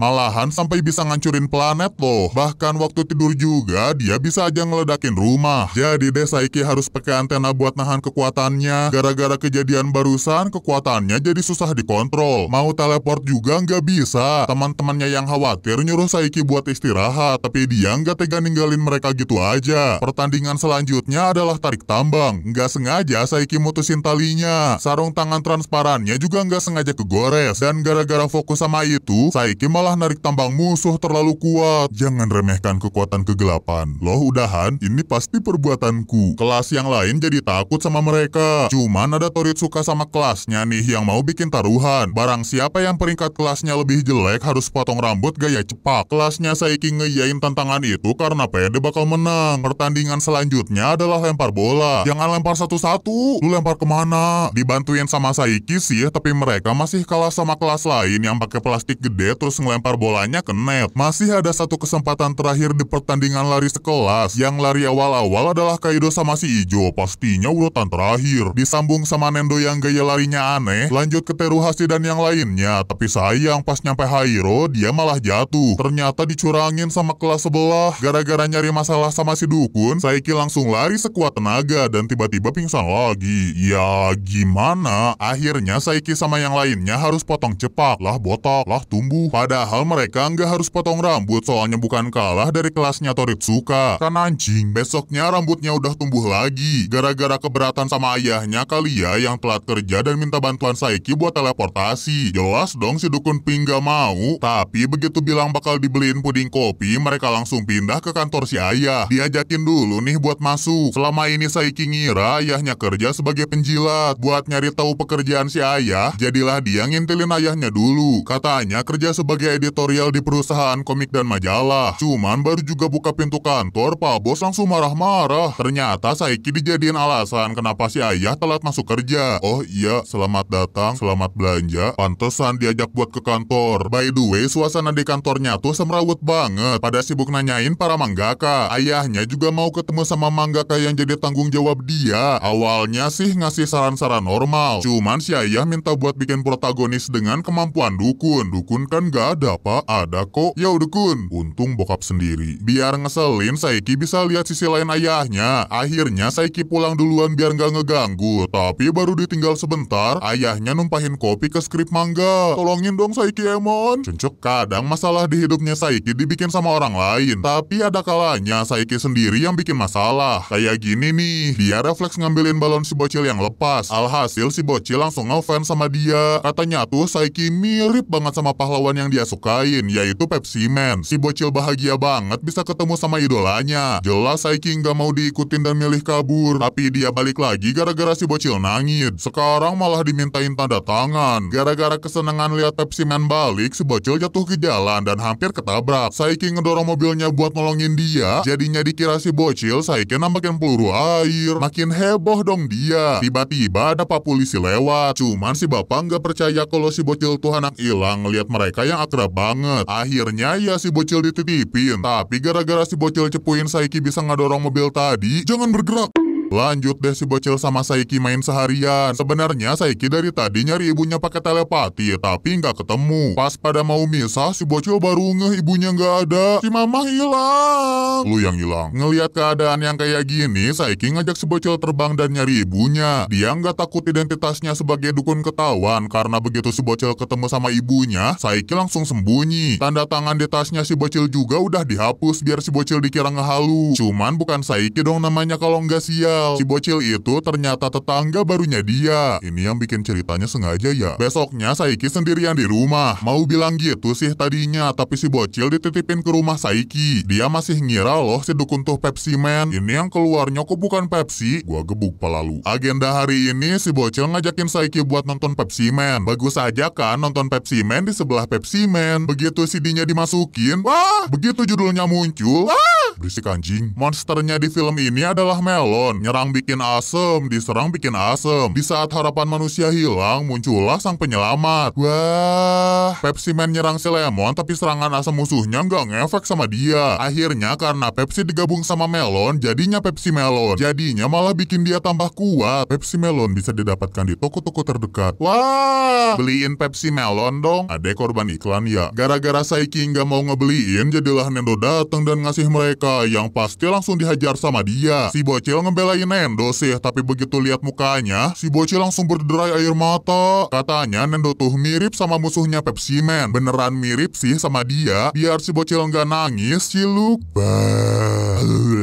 Akhirnya si bocil kabur keluar, begitu juga sama Nendo. Malamnya Saiki mampir ke festival nih karena dengar kerumunan orang. Dia jadi rindu sama suasana festival gini. Berhubung tempatnya penuh banget, Saiki berharap nggak ketemu sama orang yang dia kenal. Yang pastinya nggak mungkin dong. Teman-temannya juga ada di sini. Malahan hampir semuanya datang ke festival. Mending pulang kali ya. Tapi sebelumnya Saiki mau jajan dulu dan dia baru sadar dompetnya hilang. Si dukun sakti langsung terpelatuk. Dicopet adalah sebuah penghinaan baginya. Karena nggak bisa nyari pencopetnya di kerumunan orang gini, Saiki ngeganti dompet dia sama monster rongsokan. Otomatis si pencopet bakal kabur ke tempat sepi. Dan di saat itulah Saiki muncul di hadapan dia. Si pencopet harus tanggung jawab karena udah ngambil dompet punya dukun. Akhirnya si pencopet dikirim ke polisi. Dompet yang diambil juga dibalikin ke pemilik aslinya. Yang ternyata teman-temannya juga kecopetan. Lu nyimpen di mana woi? Yang terakhir punya Nendo dan malam festival ini pun jadinya Saiki luangin bareng teman-temannya. Lanjut, ada cewek-cewek nih yang lagi kebingungan. Teruhasi bingung mikirin cara biar Saiki bilang ofu, sedangkan Cio mikirin cintanya yang gagal disampaikan ke Saiki. Dan hari ini mereka berdua dipertemukan oleh takdir. Biar jadinya nongkrong bareng, sebenarnya mereka nggak deket-deket amat. Serba awkward pokoknya. Sis, duh pakai ngomong barengan kan jadi canggung. Go, Sasuke! Udahan ah biar videonya lanjut. Mereka berdua ngomongin karya wisata ke Balinya Jepang yang sebentar lagi bakal digelar. Lagi-lagi impian mereka berdua sama persis yaitu pengen bareng sama dukun. Pakai pelet nih pasti. Teruhasi sama Cio terus ngobrol sampai akhirnya mereka saling curiga. Jangan-jangan suka sama orang yang sama. Bisa ganti genre dong ini anime jadi kayak FTV. Judulnya jadi cintaku kepincut dukun sakti. Kebetulan cowok-cowok ada di sebelah mereka. Dan gara-gara Nendo posisinya langsung ketahuan. Saiki langsung pakai kekuatan dukun buat deketin Kaido sama Cio dan Nendo sama Teruhasi. Muka mereka juga dibikin merah sama Saiki biar kelihatan naksir. Akhirnya Cio ngira Teruhasi suka sama Nendo, sedangkan Teruhasi ngira Cio suka sama Kaido. Malah makin ribet deh. Hari besoknya murid-murid di kelas lagi ribut ngobrolin karya wisata. Saiki sekelompok nih sama Nendo Kaido karena nggak ada yang mau sama mereka. Cio sama Teruhasi seneng dong soalnya inceran mereka sekelompok semua. Tinggal gimana caranya biar grup cewek ini bisa bareng sama grupnya Saiki. Asalnya sih mau minta merah buat nanyain ke Saiki dan Tomodachi, tapi karena merah sibuk kumpulin duit buat karya wisata, Teruhasi sama Cio harus usaha sendiri. Teruhasi mau ngajakin Nendo buat ngegrup bareng, cuman keburu dihalangin sama cowok-cowok. Gak mungkin dong seorang Dewi bilang pengen ngegrup sama Nendo. Gara-gara situasinya makin ricu, Hairo ngusulin buat bikin grup pakai lotre. Teruhasi maju duluan. Bagi dia yang disebut Dewi, yang dicintai sama Dewa, pasti bisa ngambil grupnya Saiki ya, tapi tulisannya diganti sama si Dukun. Jadinya Teruhasi segrup sama si Ijo. Cowok-cowok juga udah nggak peduli tuh sama lotre sorenya. Cuman ada satu grup cewek nih yang pengen minta ganti gara-gara segrup sama Nendo. Kesempatan lah buat Teruhasi. Dia ngajuin diri buat tukeran grup yang akhirnya Teruhasi semakin dipuja sama murid-murid karena rela berkorban. Calculated bos. Namanya juga anak emasnya Dewa, tapi nggak disangka ada kabar merah nggak bisa ikut karya wisata karena nggak punya duit. Kepaksa grupnya dibongkar lagi. Kali ini Dewa berpihak ya sama si Dukun. Malamnya Saiki makan-makan dulu sama keluarganya. Lagi sibuk ngobrolin karya wisata nanti, kelihatannya ada yang mampir ke rumahnya yang ternyata adalah kakaknya Teruhasi. Dia ngamuk-ngamuk soalnya si adik bakal jalan-jalan sama Saiki. Biar Saiki udah bilang jalan-jalannya tuh karya wisata dari sekolah, si kakak tetep aja nggak terima. Sampai bela-belain beli tiket buat nyusul, beres marah-marah nggak jelas, kakaknya Teruhasi langsung pergi. Dia nggak sadar tiketnya udah diambil Saiki yang akhirnya dikasihin ke Merah gara-gara kelihatan sedih banget. Sedih nggak bisa ikut karya wisata. Besoknya nih masih aja ada masalah. Penerbangan mereka ditunda gara-gara ada angin topan. Murid-murid kelihatan sedih. Siapa juga yang mau ikut karya wisata? Tapi sebenarnya sih, ya Tuhan pengen jalan-jalan. Kalau mereka nggak bisa terbang juga, terpaksa karya wisatanya dibatalin. Pada protes dong yang lain, padahal guru penjas juga pengen karya wisatanya lancar. Drama mulu dah. Biar hawanya nggak semakin suram, cuma satu hal yang bisa dilakuin sama Saiki, yaitu Baiwan sama angin topan. Kukira angin topan, ternyata nggak mempan. Akhirnya mereka bisa berangkat karya wisata. Murid-murid pada sibuk sendiri. Pesawatnya trayek mana ya? Mabar Uno pak? Yang kalah di-kick dari sekolah ya. Ini buka jendelanya gimana? Sayang cuma Kaido yang diem gara-gara mabuk kendaraan. Obatnya dia tuh ketinggalan di kamar. Untung ada senyumnya Teruhasi yang bisa nenangin Kaido. Tapi digangguin Endo sih. Mumpung pada sibuk sendiri, Saiki ngambilin dulu obatnya Kaido. Ada ibu-ibu yang sok kepo sama urusan anaknya, dibiarin aja lah. Dan berkat Saiki, kondisinya Kaido mendingan. Sekarang dia mau istirahat dulu karena udah pakai kekuatan dukun kebanyakan. Tapi sebelum bisa istirahat, tiba-tiba ada ribut karena si Ijo kesakitan. Kalau nggak ada yang bisa ngobatin dia, kepaksa pesawatnya harus landing dulu. Jadi si Ijo dibantuin, bukan disembuhin sih, cuma dikembaliin ke sehari sebelumnya. Dengan ini Saiki bisa juga istirahat. Sayangnya dia dapat ramalan, pesawatnya bakal jatuh. Ramalannya pasti tepat dong. Nggak lama kemudian mesin-mesin di ruang pilot jadi error. Pesawatnya nggak bisa dikendaliin, mulai muncul guncangan-guncangan hebat. Untungnya sebelum situasi semakin buruk, pesawatnya stabil kapten. Cuma mukul-mukul nggak jelas padahal. Sebenarnya jelas ya ini perbuatan Saiki. Jadilah dia bawa pesawatnya sampai bandara. Sabar, belum gua sliding. Beres dari bandara, mereka ngelanjutin perjalanan pakai bis. Pemandangan di sini tuh indah banget, bikin murid-murid jadi tersepona. Kaido lagi baca-baca tentang keunikan dari tempat karya wisata mereka. Teruhasi kelihatan tertarik sama itu. Oh, oh, gara-gara dipuji si Dewi, Kaido terus pakai kosakata khas dari tempat ini. Sampai bikin mereka jadi kesel. Selesai makan Jepang mie, mereka mau lihat-lihat souvenir dulu. Karena ngeliat tempat duel ular, aura wibunya Kaido keluar lagi. Cewek-cewek pada misah sih, sedangkan Saiki kepaksa ikut Kaido Nendo. Begitu masuk, Kaido langsung dikalungin ular. Si pemilik toko juga cerita segala hal tentang si reptil. Termasuk duel ular yang jadi tema toko ini, yang ujung-ujungnya mereka disuruh beli barang jualan dia. Ngeborong cuy, diem lu. Beberapa jam kemudian mereka sampai juga di hotel. Ternyata mereka sekelompok sama si Ijo yang kelihatan gak sopan banget. Kayaknya mereka juga ngerencanain sesuatu sambil keluar kamar. Biar begitu agenda dari sekolah tetap lanjut seperti biasa. Dari acara makan malam, ngelawak berdiri, sampai akhirnya tiba waktu berendam. Rupanya si Ijo sama grupnya mau ngintip cewek-cewek. Mereka udah inget area tempat berendamnya. Malahan udah nyiapin alat buat ngintip. Cuman begitu aksinya mau dilakuin yang kelihatannya malah Nendo. Nyoba ngintip lagi, kelihatan Nendo lagi. Udah jelas ini perbuatannya si dukun. Mereka ngapain ki? Gak tahu buram. Dan setelah lihat barang Nendo yang gak diliatin depannya, mereka bertiga langsung ciut. Yang barusan asli, mimpi buruk dah gua. Sementara itu, Teruhasi sama Cio punya rencana buat main Uno sama Saiki and the Gang. Pasti ketahuan dong, Saiki pergi ke pantai aja deh buat kabur dari mereka. Dia beneran mau istirahat karena seharian ini udah banyak kerja bakti. Sial waktu dia tidur, Teruhasi nyamperin Saiki dan dengan randomnya nyabut antena si dukun. Gak lama dari itu, dia dibangunin sama Toritsuka yang panik banget soalnya hotel tiba-tiba hilang. Harusnya cuma Saiki yang bisa ngelakuin ini. Gimana ini mbah? Ya udah tahu kok tanya saya. Kayaknya Saiki nggak sadar pakai kemampuannya pas lagi tidur. Dilihat dari bekas hotel ini, mungkin dia nuker hotel sama sesuatu. Sesuatunya tuh tengkorak-tengkorak sama kapal Titanic. Suasana di hotel sendiri lagi mati lampu. AC di kamar juga nggak nyala. Terus pemandangan yang asalnya kota berubah jadi laut. Cuman begitu malingin pandangan sebentar, pemandangannya udah balik jadi kota. Sebelum hotelnya ketahuan pindah, Saiki bisa ngebalikin keadaan seperti semula. Dia nuduh Toritsuka yang ngambil antenanya, padahal semalaman ini dia cuma mikir Chabs. Kedengeran nih cewek-cewek ngomongin Teruhasi yang hilang. Baru Saiki sadar pelakunya adalah si Dewi. Dan waktu dicari pakai Byakugan, lagi ngintip ya ban. Teruhasi lagi staycation sama beruang. Saiki langsung nolongin si Dewi biarpun bayarannya adalah identitas dia sebagai dukun. Untung Teruhasi nganggep cuma mimpi. Balik sebentar ke area hotel supaya cewek-cewek nggak nyariin teman mereka, Toritsuka dihipnotis biar kelihatan kayak Teruhasi. Udah malam nih, balik ke kamar yuk.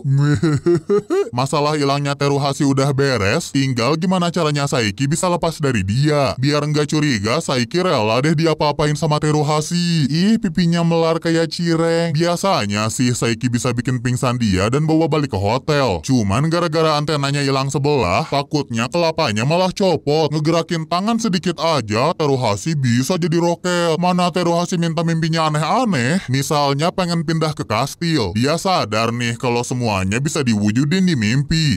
Dimanfaatin kesempatan ini buat nyuruh Saiki bilang Ofu. Dan setelah mukanya dideketin, Ofu. Seketika Teruhasi pingsan, tapi sebenarnya yang bilang Ofu tuh Taritsuka. Saking gak maunya Saiki bilang Ofu. Besok paginya Saiki bangun tidur di rumah. Dia langsung balik ke hotel sebelum yang lain bangun. Urusan gampang deh bagi dia buat pindah-pindah kayak tadi. Teruhasi masih kepikiran sama mimpi kemarin. Jangan-jangan dia beneran suka sama Saiki. Kayaknya hal ini bakal kebukti di agenda sekolah berikutnya, yaitu jalan-jalan ke pantai. Shio udah nyiapin badan supaya kelihatan seksoi pas di sana, khususnya di mata Saiki. Terus begitu mereka nyampe di pantai, kelihatan cowok-cowok lagi pada ngumpul, pada nungguin kemunculan Dewi Teruhasi yang pakai skin pantai. Damage-nya nggak ngotak, oh oh fu. Masih nggak ada reaksi dari Saiki sih. Selanjutnya giliran Chio muncul yang malah kehalangan sama Tex. Nggak ada respon apa-apa lagi. Langsung kesel dong dia. Ada Kaido nih yang ngecek keadaannya Chio. Kelihatan dia mukanya jadi merah gara-gara ngelihat penampilan Chio. Tapi habis ngelihat Teruhasi, responnya sampai jungkir balik. Nggak lama kemudian ada yang ngegodain Teruhasi. Awalnya mau ditolongin sama Saiki, cuman tiba-tiba kalian jangan bersikap kasar. Ah, enggak kok, enggak apa-apa. Ampun om, jangan galak-galak om. Chio juga ngusir orang-orang tadi, tapi malah dibacotin balik sama mereka. Kaido nggak tinggal diam buat ngebelain teman-temannya. Lu berani mukul gua? Eh, nggak sakit. Langsung dibantuin sama Saiki biar efek pukulannya Kaido makin berasa. Berkat tindakan beraninya Kaido, pandangan Chio ke dia jadi berubah. Good job, Besti. Besoknya adalah hari terakhir karya wisata. Mereka lagi nyari oleh-oleh buat dibawa pulang. Cuman Kaido kelihatan kurang tidur. Penyebabnya adalah Nendo yang ngorok dan bikin muka serem pas tidur. Kaido juga gitu sih, soalnya tidur harus nutupin muka pakai selimut. Selagi mereka ribut-ribut, Saiki punya rencana buat pergi sendiri. Katanya di sekitar sini ada es serut yang toppingnya tuh kopi. Cuma dijual 5 biji tiap hari. Saiki harus buru-buru pergi ke tokonya dan sebisa mungkin pergi sendirian. Jadi dia harus kabur dari mereka berdua dan bikin grupnya cewek-cewek sibuk sendiri. Untungnya ada merah sih yang harus mereka jagain. Buat Nendo sama Kaido sendiri, Nendo lagi dirusuhin sama tukang kaos, sedangkan Kaido ketipu lagi sama tukang aksesoris. Akhirnya Saiki bisa lolos dari mereka. Sayangnya di tengah jalan dia ngeliat si Ijo kesakitan. Ya soalnya dulu kondisi dia dibalikin ke hari sebelumnya kan sama Saiki. Ngeliat ini teman-teman si Ijo minta Saiki buat manggil guru. Asalnya mau dibalikin lagi kondisinya sih, tapi teman-temannya si Ijo maksa buat dipanggilin guru. Jadinya ya dipanggil si guru penjas. Muncul masalah lainnya nih gara-gara kakaknya Teruhasi ngalangin Saiki. Biar si kakak cepat pergi, Saiki ngehipnotis dia supaya ngira ada Teruhasi yang sebenarnya adalah orang lain. Waktu si dukun udah kebuang banyak. Sekarang tinggal masuk ke toko es serut, tapi ternyata grupnya udah ada di sana. Mereka juga udah mesen es serut kopi incaran Saiki. Si dukun cuma bisa pasrah. Untungnya Nendo sama yang lainnya mau ngebagi bagian mereka buat Saiki. Yang akhirnya malah lebih banyak dari porsi aslinya. Berkat para besti, karya wisata sekolah kali ini nggak buruk-buruk amat. Jir bisa senyum si dukun. Waktunya kembali ke kehidupan sekolah. Enaknya makan ramen dulu nggak sih? Tapi gara-gara tokonya tutup, mereka malah adu mekanik ke tempat bermain. Dulu Saiki juga sering main ke sana, tapi anehnya yang dia pukul nggak muncul lagi. Kalau Kaido sama Nendo masih aja debat mau adu mekanik di game mana. Akhirnya Saiki milihin mereka buat main di game ini. Cuman jelas dong, Nendo yang kemampuan fisiknya kayak bagong jelas diuntungin. Oleh karena itu, Kaido pakai jurus dua penahan, tapi masih jebol sih. Kaido pakai cara lainnya dengan ngibulin Nendo. Dia juga nambah benteng pertahanannya. Kaido terus pakai cara curang sampai akhirnya duel dimenangin sama dia. Selamat ya udah menang. Perasaan bersalah apa ini? Lu ngecit goblok. Duel hari ini ditutup sama sesi foto bareng biarpun masih bergelut sih. Pulang dari situ mereka diajak Nendo buat ke makam ayahnya. Selain Saiki nggak ada yang bisa lihat arwah ayahnya Nendo. Nggak lama kemudian si ibu juga ikutan muncul. Kaido kaget banget ngeliat mukanya yang mirip sampai si ibu ngerasa aneh. Maaf bu udah nggak sopan. Itu Nendo. Bang muka lu kayak kontak. Itu ibunya. Karena Kaido bilang muka Nendo sama ibunya tuh mirip, si ibu jadi tersanjung. Kamu kok jadi ada rambutnya nak? Itu muka ibu bu. Kegoblogan itu juga diketawain sama ayahnya. Mereka lanjut mampir ke rumah Nendo. Kaido langsung balas dendam lah nyari barang-barang berbahaya yang beneran ada. Masih bocil emang. Si ayah ngeliat foto dia semasa hidup dan malah ketawa lagi. Si ibu ngerasa arwah ayahnya lagi deket banget yang emang lagi didudukin. Karena ini ayahnya Nendo jadi jatuh cinta sama ibunya Nendo. Walau ya emang suami istri kan. Si ayah pengen nyatain cintanya supaya bisa meninggal dengan tenang. Jadi Saiki ngebantuin dia biar nggak digangguin. Dia ngeluarin arwahnya Nendo supaya si ayah bisa masuk dan nyatain cintanya. Seketika tubuhnya Nendo langsung jatuh. Si ibu malah salah paham. Dikira anaknya lagi puber. Nggak jadi meninggal dengan tenang deh si ayah. Besoknya di sekolah ada murid baru yang namanya Kuboyasu yang kelihatannya culun banget. Yang lain pada nyambut dia soalnya gaya ngomongnya aneh dan lucu. Alasannya ya karena dia adalah mantan preman. Kuboyasu sampai punya geng sendiri yang terkenal. Tapi dia mau tobrut gara-gara rambutnya sering keinjek. Makanya dia pindah sekolah buat mulai hidup baru. Cuman jadi orang normal tuh nggak gampang buat dia. Mau ke mana bang? Astaga maaf. Terus waktu nggak sengaja tabrakan, mati lu anjing.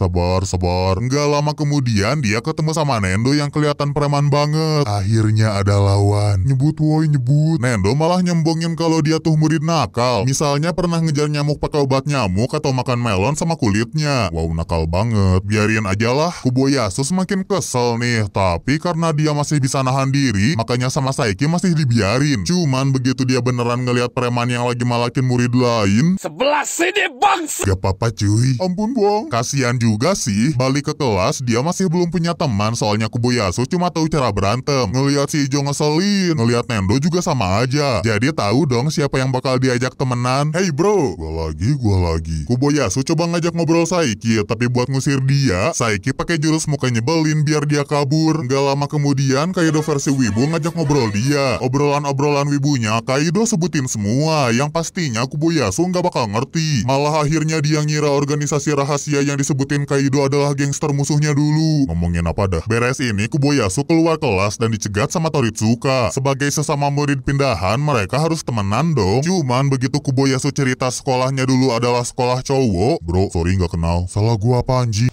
Ada juga Teruhashi yang nyapa dia. Oh, uhu. Selain itu, dia ngelihat Hairo yang sit up di tengah jalan. Dikirain si Hairo tuh orang aneh, padahal disukain sama murid lain. Ngingetin Kuboyasu sama sosok pemimpin di gengnya dulu. Jadi deh mereka temenan. Alasan Hairo latihan di jalan sih buat ngalahin Nendo. Dan saat itu, Nendo nyebut Saiki sebagai sobatnya. Yang lainnya juga ngumpul di sekitar si dukun. Alhasil Kuboyasu mikir bos besar di sekolah ini adalah Saiki. Nggak tahu ah, anjing ah, capek. Beres ini, kelas mereka lagi rapat buat nentuin tema pameran kelas nanti soalnya sekolah mau ngadain festival. Salah satu murid ngasih ide buat bikin pameran batu. Kayak kenal bentukannya. Sayangnya ditolak sama si KM kelas gara-gara nggak ada semangat-semangatnya. Dia malah ngusulin bikin origami sebanyak seribu tiap orang. Atau lebih dikit lah. Ada juga yang ngusulin buat bikin maid cafe. Oh nih, Cang. Kalau idenya Teruhashi sih, dia pengen bikin planetarium. Cowok-cowok langsung pada setuju, tapi masih dicari ide lainnya. Kalau Kuboyasu dimintain saran, dia ngasih ide buat bikin rumah hantu. Cih, kampungan. Ah, maaf ampun. Berhubung ide-idenya makin aneh, Saiki narik batu meteor biar pameran batunya bisa jadi dan tiap orang wajib bawa batu yang aneh-aneh. Terus pas hari H beneran sih pada nggak bawa batu aneh, tapi nggak gini-gini juga kali. Kaido bawa batu kristal gitu, Nendo bawa patung dewa, cewek-cewek sih bawa batu mawar sama hati. Tapi kok retak ya? Sedangkan Kuboyasu, anu ini tadi nemu di jalan. Hairo juga bawa batu yang gak kalah dari mereka.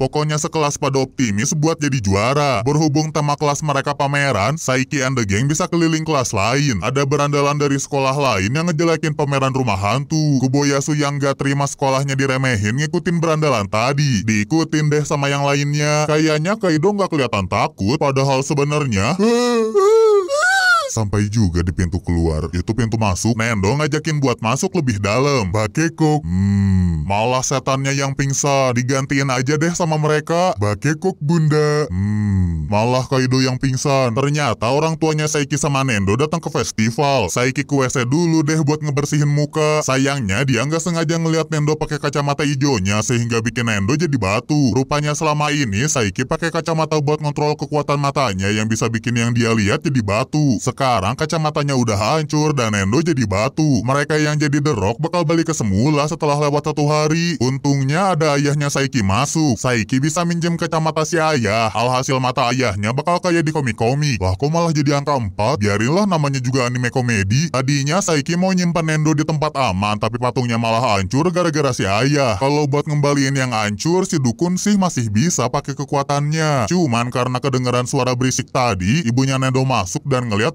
patungnya Nendo. Si ibu yang kagum ngebawa patungnya ke kelas Saiki deh. Murid lain pada terkesan. Malahan berkat adanya patung Nendo ini, juri festival nunjuk kelas Saiki jadi pemenangnya. Cuman tetap mereka harus buru-buru mindahin Nendo ke tempat aman soalnya Saiki nggak bisa ngebenerin patungnya kayak tadi. Dan hal yang ditakutin beneran kejadian. Patung Nendo dimainin sama yang lain sampai jatuh. Untung Saiki langsung gercep. Pokoknya festival kali ini ngeselin deh. Beres festival selesai, kelasnya Saiki ngadain pesta nih. Kaido ngikutin petunjuk yang dikasih, tapi malah nyasar. Nyoba nelpon Hairo, katanya petanya udah bener kok. Sebenarnya ini salahnya Kaido yang salah belokan. Saiki sengaja diam biar nggak ngumpul ke pesta. Mereka lanjut pergi ke belokan lain dan masih nyasar. Ini pasti perbuatan organisasi rahasia yang sebenarnya mereka salah belok lagi. Restorannya ada di belakang mereka tuh. Hairo nyoba ngasih arahan langsung. Kaido iya iya aja sambil maju padahal mereka masih nyasar. Sekarang nyampenya malah ke tempat mencurigakan. Sekali lagi Kaido pastiin ke Hairo, cuman si KM yang lagi fokus main malah bilang iya, oke, siap. Sampai akhirnya grup Saiki nyampe ke rumah Yakuza. Mereka nyuruh grupnya Saiki buat pergi, tapi Nendo maksa masuk ke dalam. Akhirnya mereka beneran masuk dan Saiki langsung teleport ke dalam restoran biar masalahnya nggak makin parah. Pestanya juga udah selesai sih, cuman Kaido sama Nendo yang nggak tahu itu dengan semangat ngajak mereka mulai pestanya. Duh ngasih taunya gimana ya? Beberapa hari kemudian pas mau ke sekolah, Kaido ngeliat Kuboyasu lagi jalan. Dia digangguin sama preman sekolah lain. Waduh, kabur dulu ya Geye. Kasihan tapi ya Geye. Padahal si preman tadi bisa dikalahin sama murid baru. Jadi Kaido curiga sama dia. Jangan-jangan Kuboyasu punya kekuatan rahasia kayak dia. Di Wibu. Apalagi Kuboyasu sering tuh berlumuran cairan merah. Gara-gara itu pandangan Kaido ke Kuboyasu jadi berubah. Waktu digangguin sama Nendo sih Kuboyasu kelihatan gak apa-apa. Gak apa-apa kan bro? Dari situ Kaido mikir. Gak mungkin orang kacamataan culun kayak Kuboyasu itu berandalan. Padahal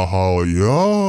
Bodi apa itu jir? Kecurigaannya makin kuat. Alhasil Kaido nggak mau deket-deket sama dia. Di perjalanan pulang Kaido digangguin sama preman nih. Saiki juga ke bawah-bawah. Kalau udah gini terpaksa Kaido berkorban buat Saiki. Tapi kalau mereka udah keterlaluan, bersiaplah menerima jurusku. Duit mana duit? Pukulan kematian. Si wibu halus saking takutnya. Dompetnya Kaido juga dipalak. Supaya Saiki nggak bernasib sama, Kaido langsung aja kabur. Sayang Kaido malah ketangkep. Cuman dia bersyukur soalnya Saiki bisa lolos. Karena inilah si dukun mau bantuin si wibu. Tapi nggak jadi sih soalnya ada Kuboyasu lewat. Kaido yang masih ngira Saiki sama Kuboyasu itu anak culun minta mereka kabur. Dan akhirnya Kuboyasu nunjukin masa lalu dia sebagai preman buat nolongin Kaido. Jadi terharu dong dia. Udah nggak ada kecurigaan lagi dan mereka sekarang adalah teman. Eh sakit-sakit. Besoknya mereka lagi jalan bareng. Kebetulan ada Nendo lagi kerja part-time di Jepang Maret. Mereka nggak percaya nih Nendo bisa kerja. Kecurigaan mereka kebukti waktu ada yang bayar tapi nggak dihitung dulu atau suka ngasih barang gratisan. Ternyata Nendo dibolehin kerja sebagai balas budi udah nolongin si kepala toko di jalan. Tapi akhirnya dipecat sih karena kerjanya terlalu berantakan. Mereka lanjut ke tempat kerja Nendo lainnya yaitu toko ramen. Dan masih sama aja Nendo malah bikin tokonya berantakan yang akhirnya bikin dia dipecat. Sebenarnya alasan Nendo kerja part-time adalah buat beli hadiah ulang tahun ibunya. Teman-teman pada terharu. Jadilah mereka daftar kerja barengan. Kaido sama Kuboyasu sih lolos tapi ada satu orang gak dikenal yang ternyata adalah Nendo. Saiki ngubah penampilan dia biar lebih meyakinkan. Sayangnya kalau ngomongin cara kerja, Nendo masih aja bikin kacau. Selain itu ada pengunjung kurang ajar yang bikin Kuboyasu jadi ngamuk. Dahlah pulang aja.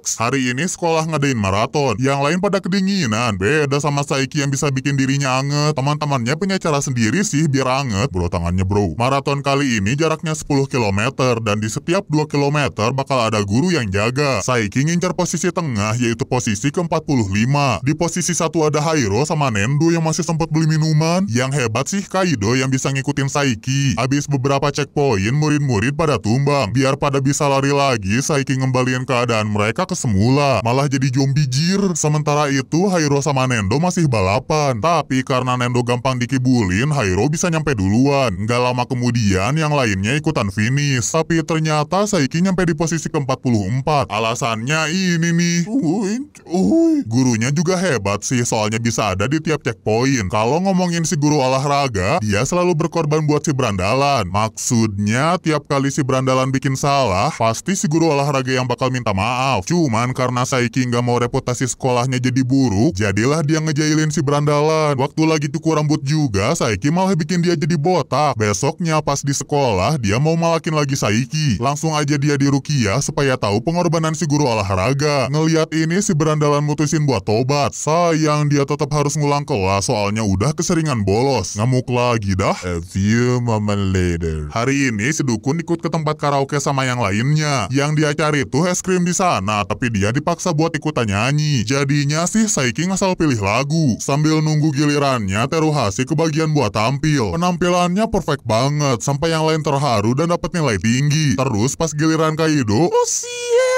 yo, siete yo, sono si kumiwo, yurete sekai ni bukwo. Yang sabar ya, lanjut ke giliran Endo. Dia ngajak Saiki nyanyi bareng. Langsunglah tempatnya dibikin mati lampu supaya si dukun bisa kabur. Beberapa menit kemudian dia balik ke ruangan. Yang lain pada tumbang karena ngedengar Nendo nyanyi. Selagi itu pesanannya Saiki ternyata udah dianterin sampai si pelayan ikutan pingsan. Tapi sekarang adalah giliran Saiki buat tampil. Pilihan lagunya nggak sesuai banget sama karakter dia. Supaya bisa kabur dari keadaan ini, Saiki ngajak Nendo buat tampil bareng. Kabur cu, bubar bubar. Malamnya ada kakak Teruhasi yang mampir ke rumah Saiki. Dia cerita nih lagi musuhan sama Teruhasi karena dia perhatian sama si Adi. Terlalu perhatian sih. Katanya besok si kakak ada rencana syuting di kota. Dia minta Saiki buat ngejauhin Teruhasi dari tempat syuting soalnya nggak mau si adik jadi terkenal. Terus pas sudah disampaikan ke Teruhasi, si Dewi semakin kesel sama kakaknya yang udah ngerepotin si Dukun. Tapi justru ini jadi kesempatan. Teruhasi bisa ngajak Saiki ngedate sebagai permintaan maaf atas kakaknya. Saiki juga nggak bisa nolak, takutnya Teruhasi bisa jadi gila. Pas di kota, yang lain pada sirik ngelihat Saiki deket sama Teruhasi. Sayangnya semua tempat nongkrong hari itu pada tutup. Cuman kalau si Dewi udah ngeluarin pesonanya, saya antar ke toko mbak. Awas panas mbak, kupon promonya mbak. Meski akhirnya mereka bisa nongkrong bareng, masalah lainnya bakal muncul yaitu si kakak yang mampir ke tempat mereka. Saiki ngajak pergi, tapi Teruhasi malah ngadain halal bihalal. Untungnya si kakak nggak jadi ke situ soalnya pelang tokonya dibikin tutup. Beres ini mereka disuruh bayar. Cuman begitu ngelihat muka si Dewi, gratis aja mbak. Keadilan sosial bagi seluruh warga good looking. Rencananya si Saiki pengen langsung pulang, tapi gara-gara dihalangin sama si kakak, jadilah mereka mampir ke tempat bermain. Di sana Saiki nggak mau ngalah sama sekali. Pokoknya dia bikin Teruhasi jadi bete. Cuman nggak disangka, tiba-tiba si kakak ada di tempat yang sama. Ketahuan mereka. Saiki langsung narik Teruhasi ke foto box. Yang anehnya nggak ada siapa-siapa, soalnya Saiki pakai kekuatan ngilang. Jadi salah paham lagi deh si Dewi. Besoknya Teruhasi mampir ke rumah Saiki. Saking gugupnya, dia malah salah neken bel rumah orang lain yang ternyata ada Saiki di rumah itu. Ceritanya Saiki lagi ngejagain si bocil tetangga. Kata si ibu sih mereka mirip pasangan suami istri, tapi kayaknya nggak segampang itu di hadapan seorang bocil. Ade mau kue? Mau. Ternyata kue yang dibawa Teruhasi ada lope-lopenya. Itu adalah kue gratis dari si pemilik toko. Sayang kue lope tadi malah dimakan sama si bocil. Jelep, gua tandain lu ya. Makasih Bibi.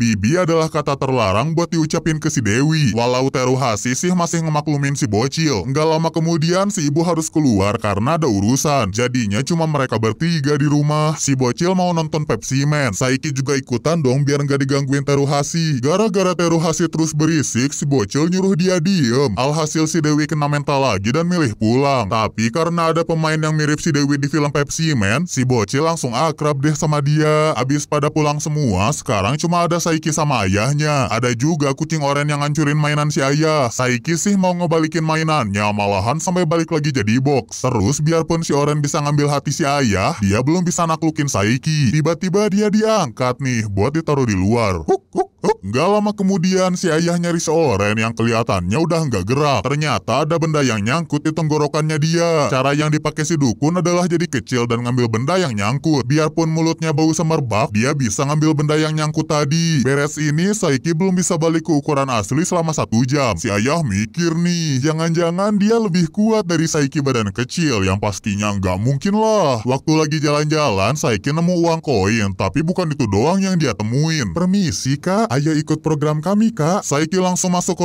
robot-robotan si ayah yang bisa kabur dari kecoa terbang, yang bisa dikalahin sama si kucing. Berkat ini, Saiki jadi mau deh ngelus-ngelus si Oren. Yo lanjut yo. Gak kerasa udah malam Natal lagi. Banyak bocil-bocil yang gak percaya adanya Santa. Tapi begitu si Santa muncul di rumah mereka, ombongan ya. Gigimu bohong. Malam ini si dukun bertugas jadi Santa. Dia ngegantiin ayahnya yang tiba-tiba sakit waktu mau nganter hadiah. Daripada si ibu yang pergi, jadi Saiki yang nyebarin hadiahnya. Permintaan bocil-bocil dari tiap rumah sih aneh-aneh. Ada yang minta Santa muncul dari cerobong asap, ada yang malah ketakutan gak jelas. Terus yang paling susah, ada yang minta biar orang tuanya bisa ngeluangin waktu bareng di malam Natal. Berdoanya sama Tuhan. Akhirnya ayah si bocil tadi nggak jadi pergi ke kantor, soalnya masalahnya udah diberesin sama Yohoho. Tentunya bayaran buat jadi Santa harus dibayar sama si ayah dengan harga yang sepadan. Angpau tahun baru punya Saiki tahun ini jadinya banyak deh. Rencananya dia mau beli TV yang udah rusak. Meski yang sekarang bisa dikembaliin ke sehari sebelumnya, takutnya beneran rusak kalau kelupaan. Ada sales TV nih yang mau nawarin. Sayang Saiki nggak akan kena genjutsu si sales karena fitur-fitur di TV udah dimilikin sama diri si dukun. Saiki juga bisa adu nego sampai dapat harga paling murah. Si sales mulai nawarin barang-barang aneh biar Saiki mau beli. Jir jualan gorila. Dan akhirnya Saiki kena gocek karena ngelihat alat pembuat puding kopi yang bikin dia tertarik banget. Meskipun harganya setara TV tadi, Saiki nggak bisa nolak godaan dan milih beli mesin puding kopi. Kalau ngomongin tahun baru, ini waktunya ngelakuin banyak hal buat pertama kalinya di tahun ini. Misalnya flu pertama di tahun ini, tarian bego pertama di tahun ini, muka jelek pertama di tahun ini, atau terbang keluar angkasa pertama di tahun ini. Cuman lu doang deh kayaknya. Ada juga orang yang nyambut tahun baru dengan penuh semangat sampai es yang ada di sebelah Hairo meleleh. Dan yang paling penting, saling kirim-kiriman kartu pos pas tahun baru yang anehnya nggak ada satupun di posnya Teruhasi. Padahal dia udah ngirim ke Saiki pakai lope-lope. Atau jangan-jangan Saiki sengaja telat ngirim biar si Dewi deg-degan? Ya nggak juga sih. Telat ngirim nggak? Emang suka random ya kehidupannya dia. Contohnya lagi pas di sekolah, Saiki sama Toritsuka ngobrol tentang kekuatan kesurupan yang makin GG. Katanya sekarang Toritsuka bisa manggil arwah orang terkenal, misalnya John Lennon atau pas berantem manggil Bruce Banner. Kekuatan ini bikin dia populer di kalangan cewek-cewek. Biar bisa ngegombalin mereka, Toritsuka perlu arwah orang yang jago ngomong. Siapa lagi kalau bukan Steve pekerjaan? Cuman gara-gara sering kesurupan, kekuatannya jadi nggak bisa dikendaliin. Dia nggak bisa balik ke tubuhnya. Arwah-arwah yang lain juga seenaknya masuk ke tubuh dia. Saiki yang lagi nyamar sih sadar Toritsuka blunder. Jadi dia nendang Toritsuka biar si arwah ngerasain sakit. Alhasil mereka pada kabur. Begitu juga cewek-cewek yang anggap Toritsuka aneh. Besoknya Toritsuka ngedatangin Saiki lagi. Yang pasti ditolak sama dia. Katanya Toritsuka punya ide biar populer, yaitu ikutan klub yang ada di sekolah. Misal ikut klub renang atau klub basket. Kasian, mana masih muda. Tapi gara-gara ditolak terus, Toritsuka mau bikin klub sendiri, yaitu bikin klub paranormal. Hari ini adalah hari pertama ngumpul. Pas tempat ngumpulnya dibuka, selamat datang, selamat belanja. Mereka disambut sama cewek yang mau daftar klubnya. Auranya ngeri sih, cuman begitu mukanya dilihat, daftar klubnya di ruang sebelah mbak. Datang juga Kaido yang mau ikutan. Selain dia, Cio juga ternyata ikut datang, yang padahal sengaja ngikutin Kaido. Toritsuka bilang dia cuma nerima cewek. Gara-gara Kaido nggak dibolehin ikut, Cio juga nggak jadi ikutan. Mending mereka bikin klub sendiri. Terpaksa deh semua orang dibolehin gabung. Buat bikin Toritsuka kapok, Saiki bikin tempatnya jadi gelap. Jalan keluar juga ditutup. Si cewek misterius koma kemit baca mantra, sayangnya bukannya kapok. Toritsuka malah jadi cinta sama si cewek misterius. Alas ya boy. Balik ke kelas, pelajaran selanjutnya kelas Saiki adalah tata boga. Pelajaran favoritnya si dukun, soalnya bisa bikin banyak crepes. killernya lap mas. Dia sekelompok nih sama Kaido dan Hairo. Katanya Kaido sering masak sih, tapi kenyataannya Uncle Roger nggak akan bilang hanya.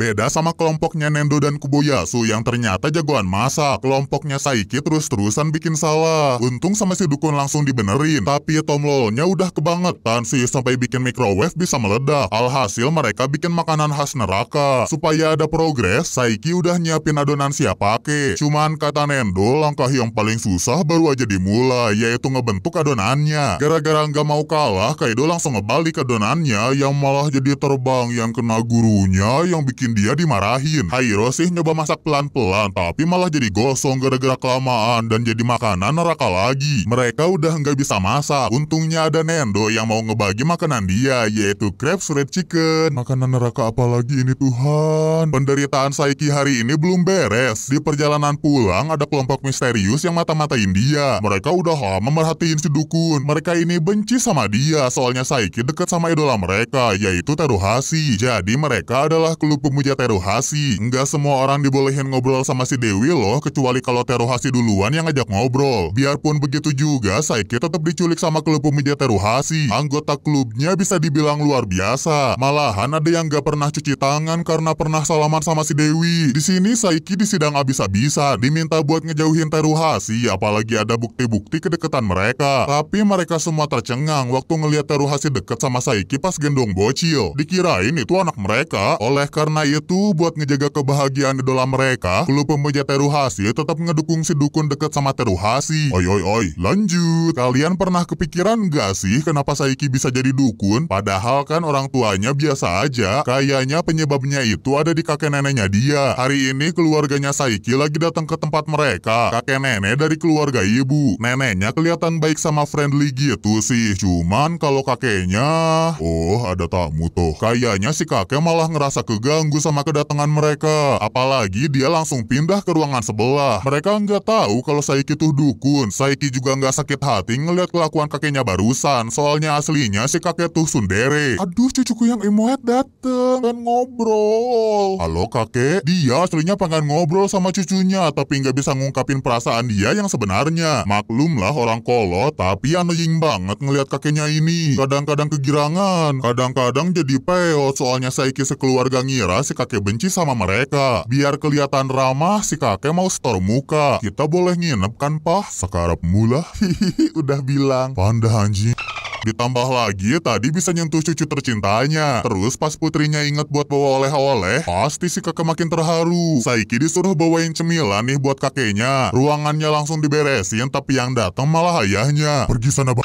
Kakek jahat. Dari dulu si kakek emang gak suka sih sama ayahnya Saiki. Dan pas lagi cosplay jadi bayi, Malu banget si kakek. Saiki tuh disuruh gantiin ayahnya bawa cemilan tapi langsung keluar lagi. Kakeknya Saiki jadi sedih. Cuman si dukun perhatian kok soalnya balik lagi buat nemenin si kakek. Walau seling juga image, rasa sayang si kakek ke cucunya ini gede banget sampai-sampai ke bawah mimpi. Buat bikin Saiki senang, dia mau ngajakin ke tempat bermain. Perasaan tempatnya menarik, tapi begitu nyampe kok kayak terbengkalai. Skrup roller coaster juga copot. Cuman si kakek udah keburu beli tiket. Mana si ibu juga terlanjur seneng lagi. Paling yang anehnya pas mereka mau naik wahana, pada disuruh tanda tangan dulu biar tempatnya nggak dituntut. Jagain mamah kamu ya dek. Kayaknya naik roller coaster nggak perlu gini amat deh. Tapi pas ngeliat lagi tempat ayahnya, seru ya dek.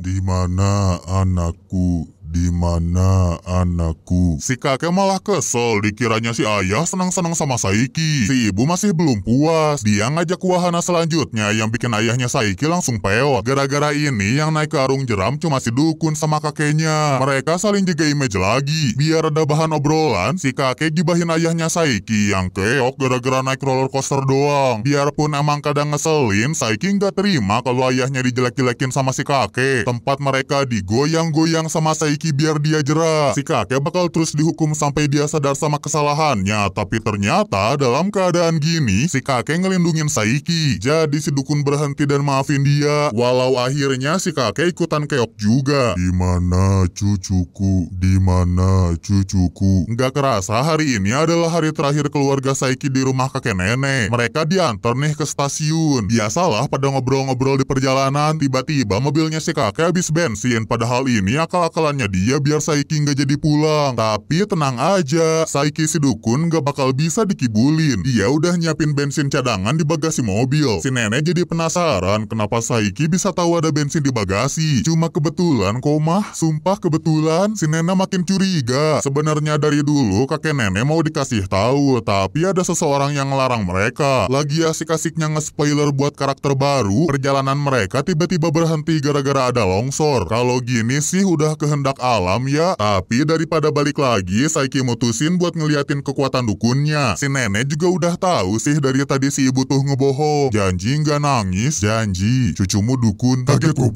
Saiki terus ngeliatin kekuatan dukunnya satu-satu, sampai kakek neneknya syok berat. Jelas si kakek marah, soalnya harusnya Saiki kan bisa datang ke rumah mereka kapan aja. Akhirnya sih dimaklumin karena si kakek keingetan sama cucunya yang satu lagi alias kakaknya si dukun. Next, waktu lagi pulang sekolah ada bola nyasar ke dia. Untungnya Saiki bisa ngatur kekuatannya karena dulu sering latihan. Berkat antenanya dia juga sih, tapi tiba-tiba dia ketimpuk sama bola. Saiki jadi salah lempar, ternyata antenanya rusak, jadi kekuatannya susah diatur. Jedug, antenanya sayonara. Ini adalah bencana buat si dukun, soalnya dia bakal jadi manusia paling GG. Supaya nggak makin parah, Saiki ngebalikin waktu biar antenanya balik lagi, tapi malah kebablasan. Telepati dia juga di buff, bisa ngedenger seluruh dunia.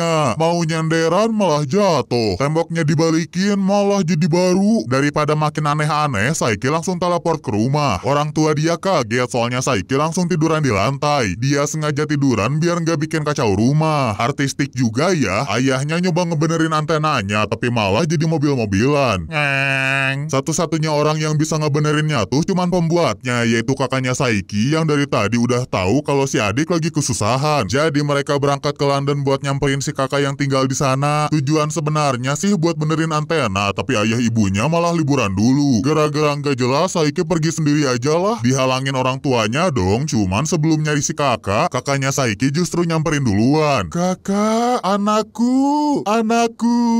Anakku? Saiki nggak terlalu suka sama kakaknya sih, soalnya kakaknya juga nggak suka sama dia. Alasannya tuh ini nih, sebelum si dukun lahir, kakaknya dia dianggap anak paling jenius. Umur berapa tahun aja udah ngerti kalkulus, dianggap anak berbakat deh, sampai akhirnya Saiki lahir. Si kakak naik sepeda, si adik siap tanding di Mandalika. Si kakak nilai 100, si adik nilai 900000000. Pokoknya si kakak jenius terus kalah ngelawan si adik dukun. Gara-gara itu si kakak bikin antena biar Saiki jadi lemah, walaupun si kakak tetap kalah sih. Makanya dia pindah ke Inggris biar jauh dari adiknya. Tapi sekarang kayaknya si kakak udah berubah. Saiki nggak tahu isi hati dia soalnya lagi ngeblok kekuatan telepati. Terus waktu antenanya mau dibenerin, si ayah malah ngilangin barang bawaan mereka. Untung aja si kakak bisa ngeliat dari semua CCTV di London. Muka bego si ayah juga kerekam dan gak butuh waktu lama sampai tas mereka balik lagi. Akhirnya antenanya Saiki udah bener. Dia bisa ngelepas cincin anti telepatinya. Tapi yang aneh, si dukun sama sekali nggak bisa ngebaca isi hati si kakak. Ternyata si kakak bikin alat yang bisa ngablok telepatinya si dukun. Terus dia ngasih tiket jalan-jalan buat ayah ibunya, sedangkan Saiki diajak main sweet. Lagi-lagi dia masih kalah dan kekalahan ini bikin total kekalahan dia lawan Saiki jadi 4000 kekalahan. Dihitung jir. Saiki juga diminta teleport ke sebuah ruangan hotel yang ternyata di ruangan sebelah ada Nendo sama Kaido. Mereka dipanggil sama kakaknya Saiki soalnya dia mau tanding lagi sama adiknya. Si kakak ngajak main petak umpet. Dia harus sembunyi selama 3 jam dan gak boleh keluar dari London. Teman-temannya diajak tuh biar Saiki nggak pakai kekuatannya dengan bebas. Kalau Saiki menang, nanti bakal ditraktir banyak makanan deh, termasuk puding kopi. Gaskeun lah kuy. Teman-temannya langsung iya-iya aja. Mereka malahan nganggap harus kabur dari organisasi rahasia. Si kakak bilang bebas pakai transportasi apa aja, tapi ternyata stasiun udah ditutup sama dia. Bis juga ngantri banget, mereka harus buru-buru kabur apalagi si kakak lagi otw ke situ. Cuman begitu si kakek nyampe ke tempat mereka, Saiki DKK udah nggak ada. Rupanya mereka pakai sepeda. Sayang Kaido langsung tumbang dan di saat itulah si kakak tiba-tiba datang. Dateng. Ngacir lagi dong. Saiki sadar nih di antena dia dipasang pelacak, makanya si kakak bisa langsung dateng. Alhasil Saiki bikin motor si kakak mogok supaya mereka bisa kabur. Sekarang pada sembunyi di mall. Kakaknya pakai speaker buat bikin pengunjung di sana ngejar Saiki dan Tomodachi. Akhirnya mereka kejebak di toilet. Kakaknya udah siap buat nangkep mereka. Cuman begitu pintunya dibuka, kita bisa jelaskan. Memang si kakak pakai pelacak, tapi ada kelemahannya, yaitu nggak bisa ngelacak Saiki ada di lantai mana. Saiki juga sengaja lari ke arah orang yang mirip mereka supaya bisa kabur dari kejaran orang-orang. Jadi si kakak kalah lagi. Saiki sama yang lainnya dapat makan-makan, sedangkan si kakak dia malah kegirangan soalnya kecanduan kalah. Hmm. Akhirnya bisa balik ke kehidupan sekolah di mana Saiki digangguin sama teman-temannya. Sekarang ceritanya Kuboyasu sama Kaido mau ngajakin bikin SIM pas libur sekolah nanti. Nggak nembak aja bro, jalur bikin SIM sekarang gampang loh. Saiki pakai alibi nggak punya duit sih biar nggak diajak. Nggak lama kemudian datang merah ngajakin jadi volunteer. Bakal dibayar kok, tapi jadi volunteer obat-obatan. Yang bisa aja penelitinya pada kaget pas ngecek badan si dukun. Ditolak lagi dong. Pokoknya Saiki pengen liburannya nggak diganggu. Tapi sekarang malah datang Hairo yang ngajakin latihan tenis. Jadwalnya udah nggak ngotak pula. Masa latihan 29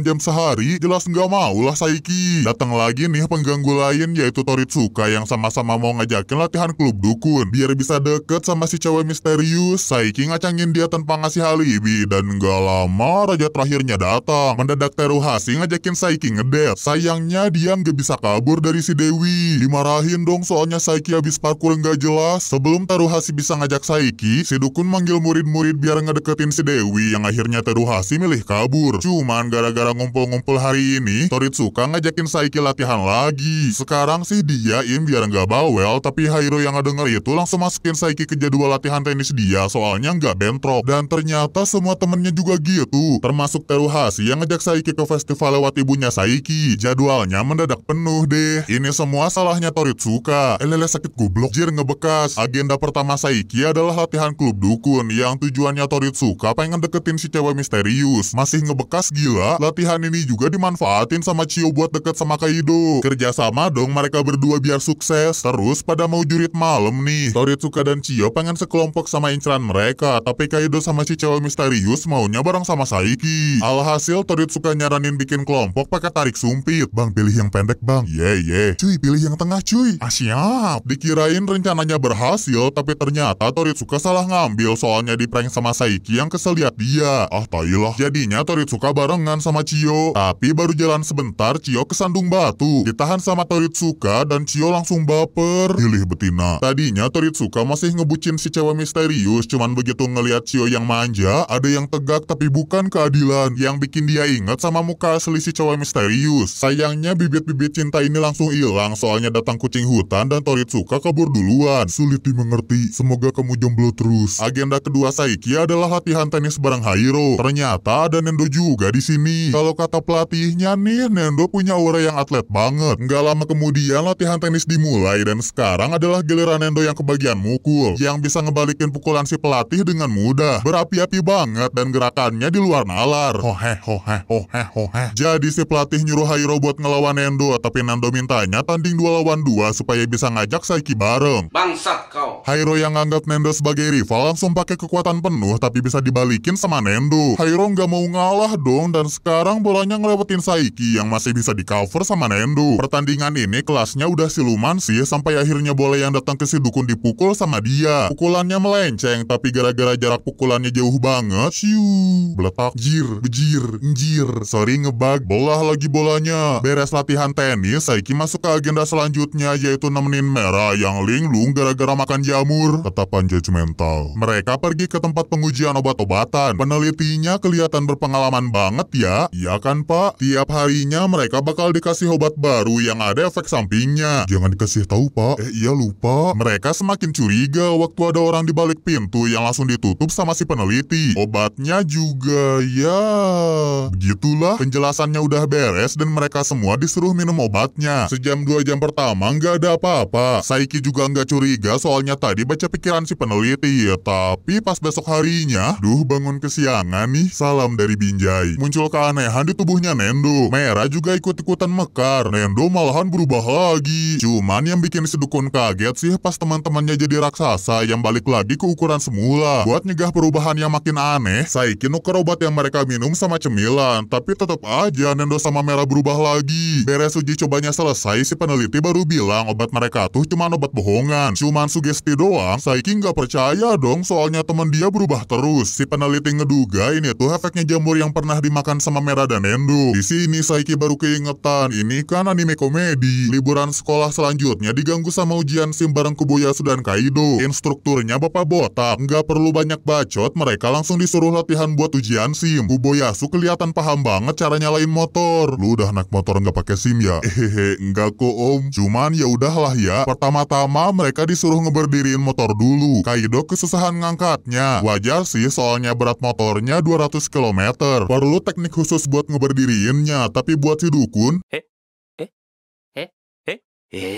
Kaido terus kesusahan, cuman si pelatih terharu ngeliat semangatnya. Beda sama Kuboyasu nih yang kesusahan di bagian tulis. Misalnya pas lihat tanda jalan ini, menurut dia tandanya dipakai buat pentungan. Kalau tanda yang garis ini, ya tetap buat pentungan loh. Makanya ini bagian paling susah buat Kuboyasu. Tapi karena ngeliat semangatnya dia, si pelatih tetap ngesupport para murid. Hari-hari selanjutnya diisi sama latihan mereka buat nanti ujian SIM. Dan akhirnya Kaido bisa ngeberdiriin motor sendirian. Kuboyasu juga bisa ngejawab rambu-rambu lalu lintas dengan benar. Sedangkan Saiki, dia dapetin SIM-nya duluan. Semuanya pada seneng. Tapi kan kalian yang mau SIM-nya woi. Abis ngebantuin teman-temannya sepanjang liburan sekolah, sampai juga Saiki di agenda terakhir, yaitu ngedet bareng Teruhasi. Kayak biasa, aura kecantikannya si Dewi bikin orang-orang ngumpul. Tujuannya Teruhasi tetap sama, pengen bikin Saiki bilang ofu yang bakal susah diwujudin, soalnya ada si bocil tetangga ikutan dateng. Balonnya kakak. Rencana Teruhasi buat naik jet coaster atau jalan bareng di rumah hantu langsung gagal gara-gara si bocil. Tapi ya, the show must go on. Apalagi si bocil punya request nih, dia pengen nonton Pepsi Man yang ada di taman bermain ini. Memang sih si bocil langsung seneng, sedangkan Teruhasi, apa dosa hamba Tuhan? Pertunjukan ini dinanti-nanti sama para bocil. Tiba-tiba ada monster yang mau narik penonton buat ikut serta ke pertunjukan. Dan karena auranya begitu glowing, eh, ama?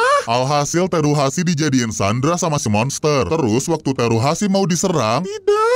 Si monster malah deg-degan. Nggak lama kemudian muncul Pepsi Man mau nyelamatin Teruhasi. Tapi serangan-serangan dia tuh beneran semua. Pengen kelihatan keren di hadapan si Dewi. Si monster juga nggak mau ngalah. Malahan sampai bisa ngalahin si Pepsi Man. Si bocil langsung minta Saiki buat nolongin karena nganggap si dukun itu Pepsi Man. Kedengeran nih sama penonton yang lain. Terpaksa Saiki acting jadi Pepsi Man buat ngelawan si monster. Akhirnya Teruhasi bisa diselamatin dan mereka berdua makin deket. Setelah sekian lama liburan sekolah selesai juga. Di awal semester ini sekolahnya Saiki kedatangan murid baru yang bisa ngalahin Rafathar. Bagi dia nih yang paling penting dari kehidupan tuh bukan talent atau apa pun. Yang paling penting adalah duit. Namanya juga anak dari konglomerat ya. Dia ini namanya Saiko. Kedatangannya ke sini bukan mau belajar jadi sederhana atau jadi orang kismin kayak murid-murid lain. Si Ijo protes dong karena dihina, tapi emang bener kok. Tinggal ngasih uang pelicin aja, semua masalah bisa beres. Keinginan dia ke sini cuma satu, yaitu pengen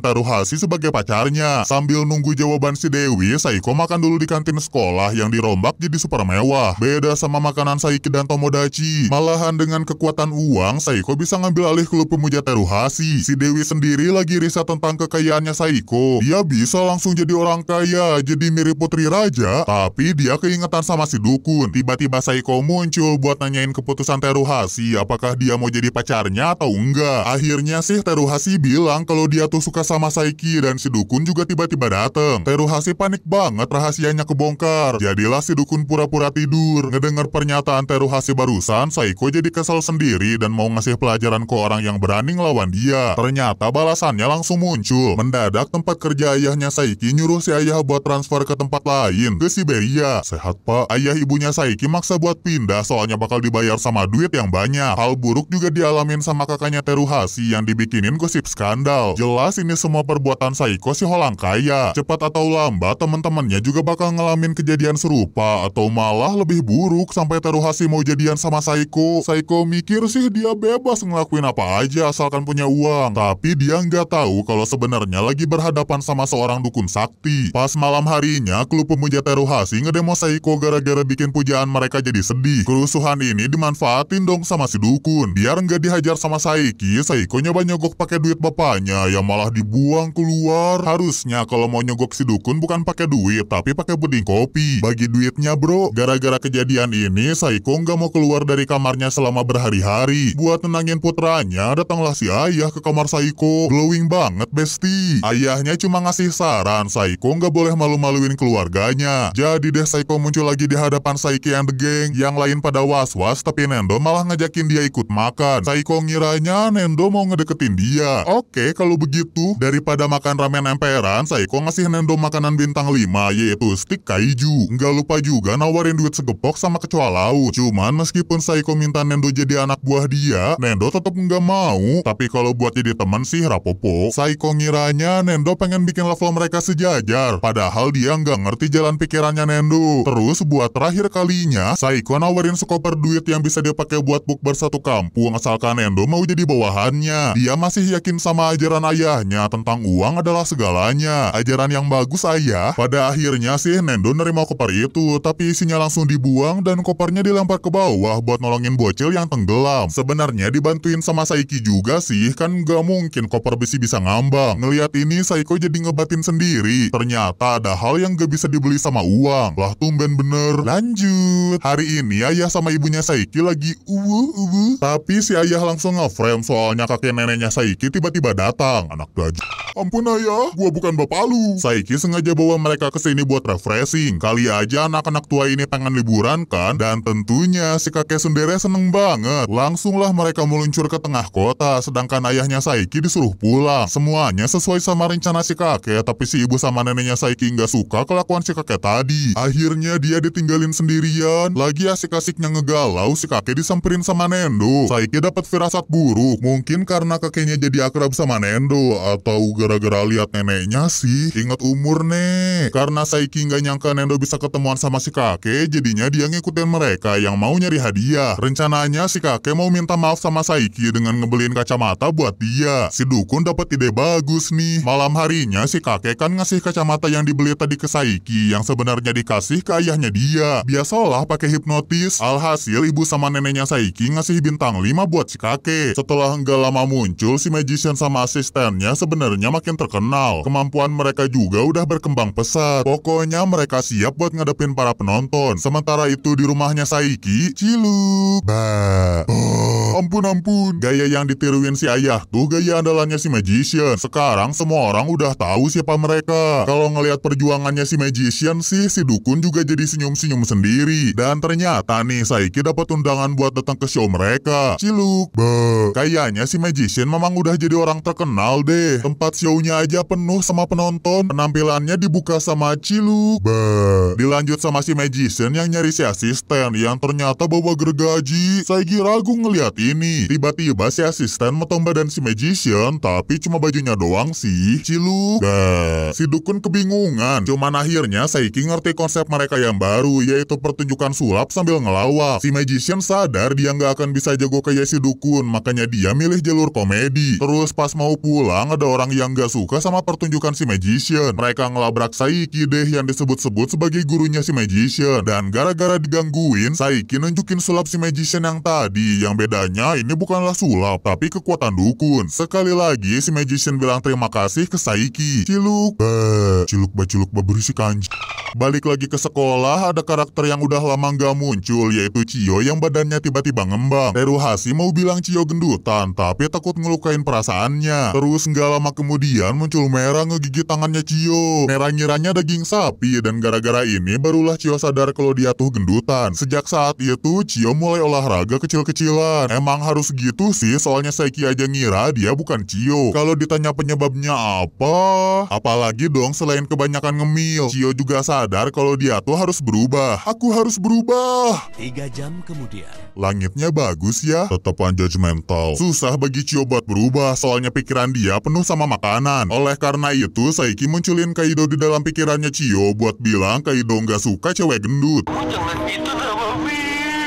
Lumayan buat Netflix and chill. Beberapa jam kemudian, Saiki ngecek keadaan Cio yang ternyata masih sit up. Begitu pikirannya dibaca, rupanya Kaido udah ngambil alih pikirannya Cio. Jadi senang dimarahin pula dianya. Ya udahlah ya, yang penting beratnya bisa turun. Dan besok harinya memang sih Cio udah balik ke setelan pabrik. Tapi mental dia berubah jadi babunya Kaido. Salah Watashi bukan ya. Lanjut ke jam istirahat, lagi-lagi Saiki digangguin sama teman-temannya. Ada yang minta diajarin aljabar, ngajakin main volley, ngajakin ngelawan suzuran, ngajakin buang-buang duit atau macem-macem deh. Hampir semua karakter di anime ini muncul sekarang. Apakah ini pertanda sesuatu bakal terjadi? Nggak tahu juga sih, tapi nggak kerasa sekarang udah jamnya pulang sekolah. Seenggaknya Saiki bisa istirahat di rumah. Tiba-tiba Nendo keceplosan ngomong rencana besok yang langsung dipotong sama Kaido dan Kuboyasu. Teman-teman ceweknya juga buru-buru pergi. Sebenarnya mereka semua ini ngerancanain sesuatu, yaitu pengen bikin surprise buat ulang tahunnya Shidukun langsung ketahuan sih. Rencananya Kaido sama Kuboyasu mau ngajakin Saiki ke rumahnya Kaido. Nanti Saiki bakal dibawa ke ruangan gelap buat disurprisein sama yang lainnya. Teman-temannya ngebayangin ekspresi Saiki nanti. Mungkin dia bakal bahagia, mungkin juga bakal kaget, atau mungkin bakal syok berat. Ya, gimana ya? Kaido tahu temannya ulang tahun tuh dari ibunya Saiki, makanya dia ngusulin buat bikin pesta kejutan. Hal ini memang bikin Saiki terkejut sih, soalnya besok bukan ulang tahun dia.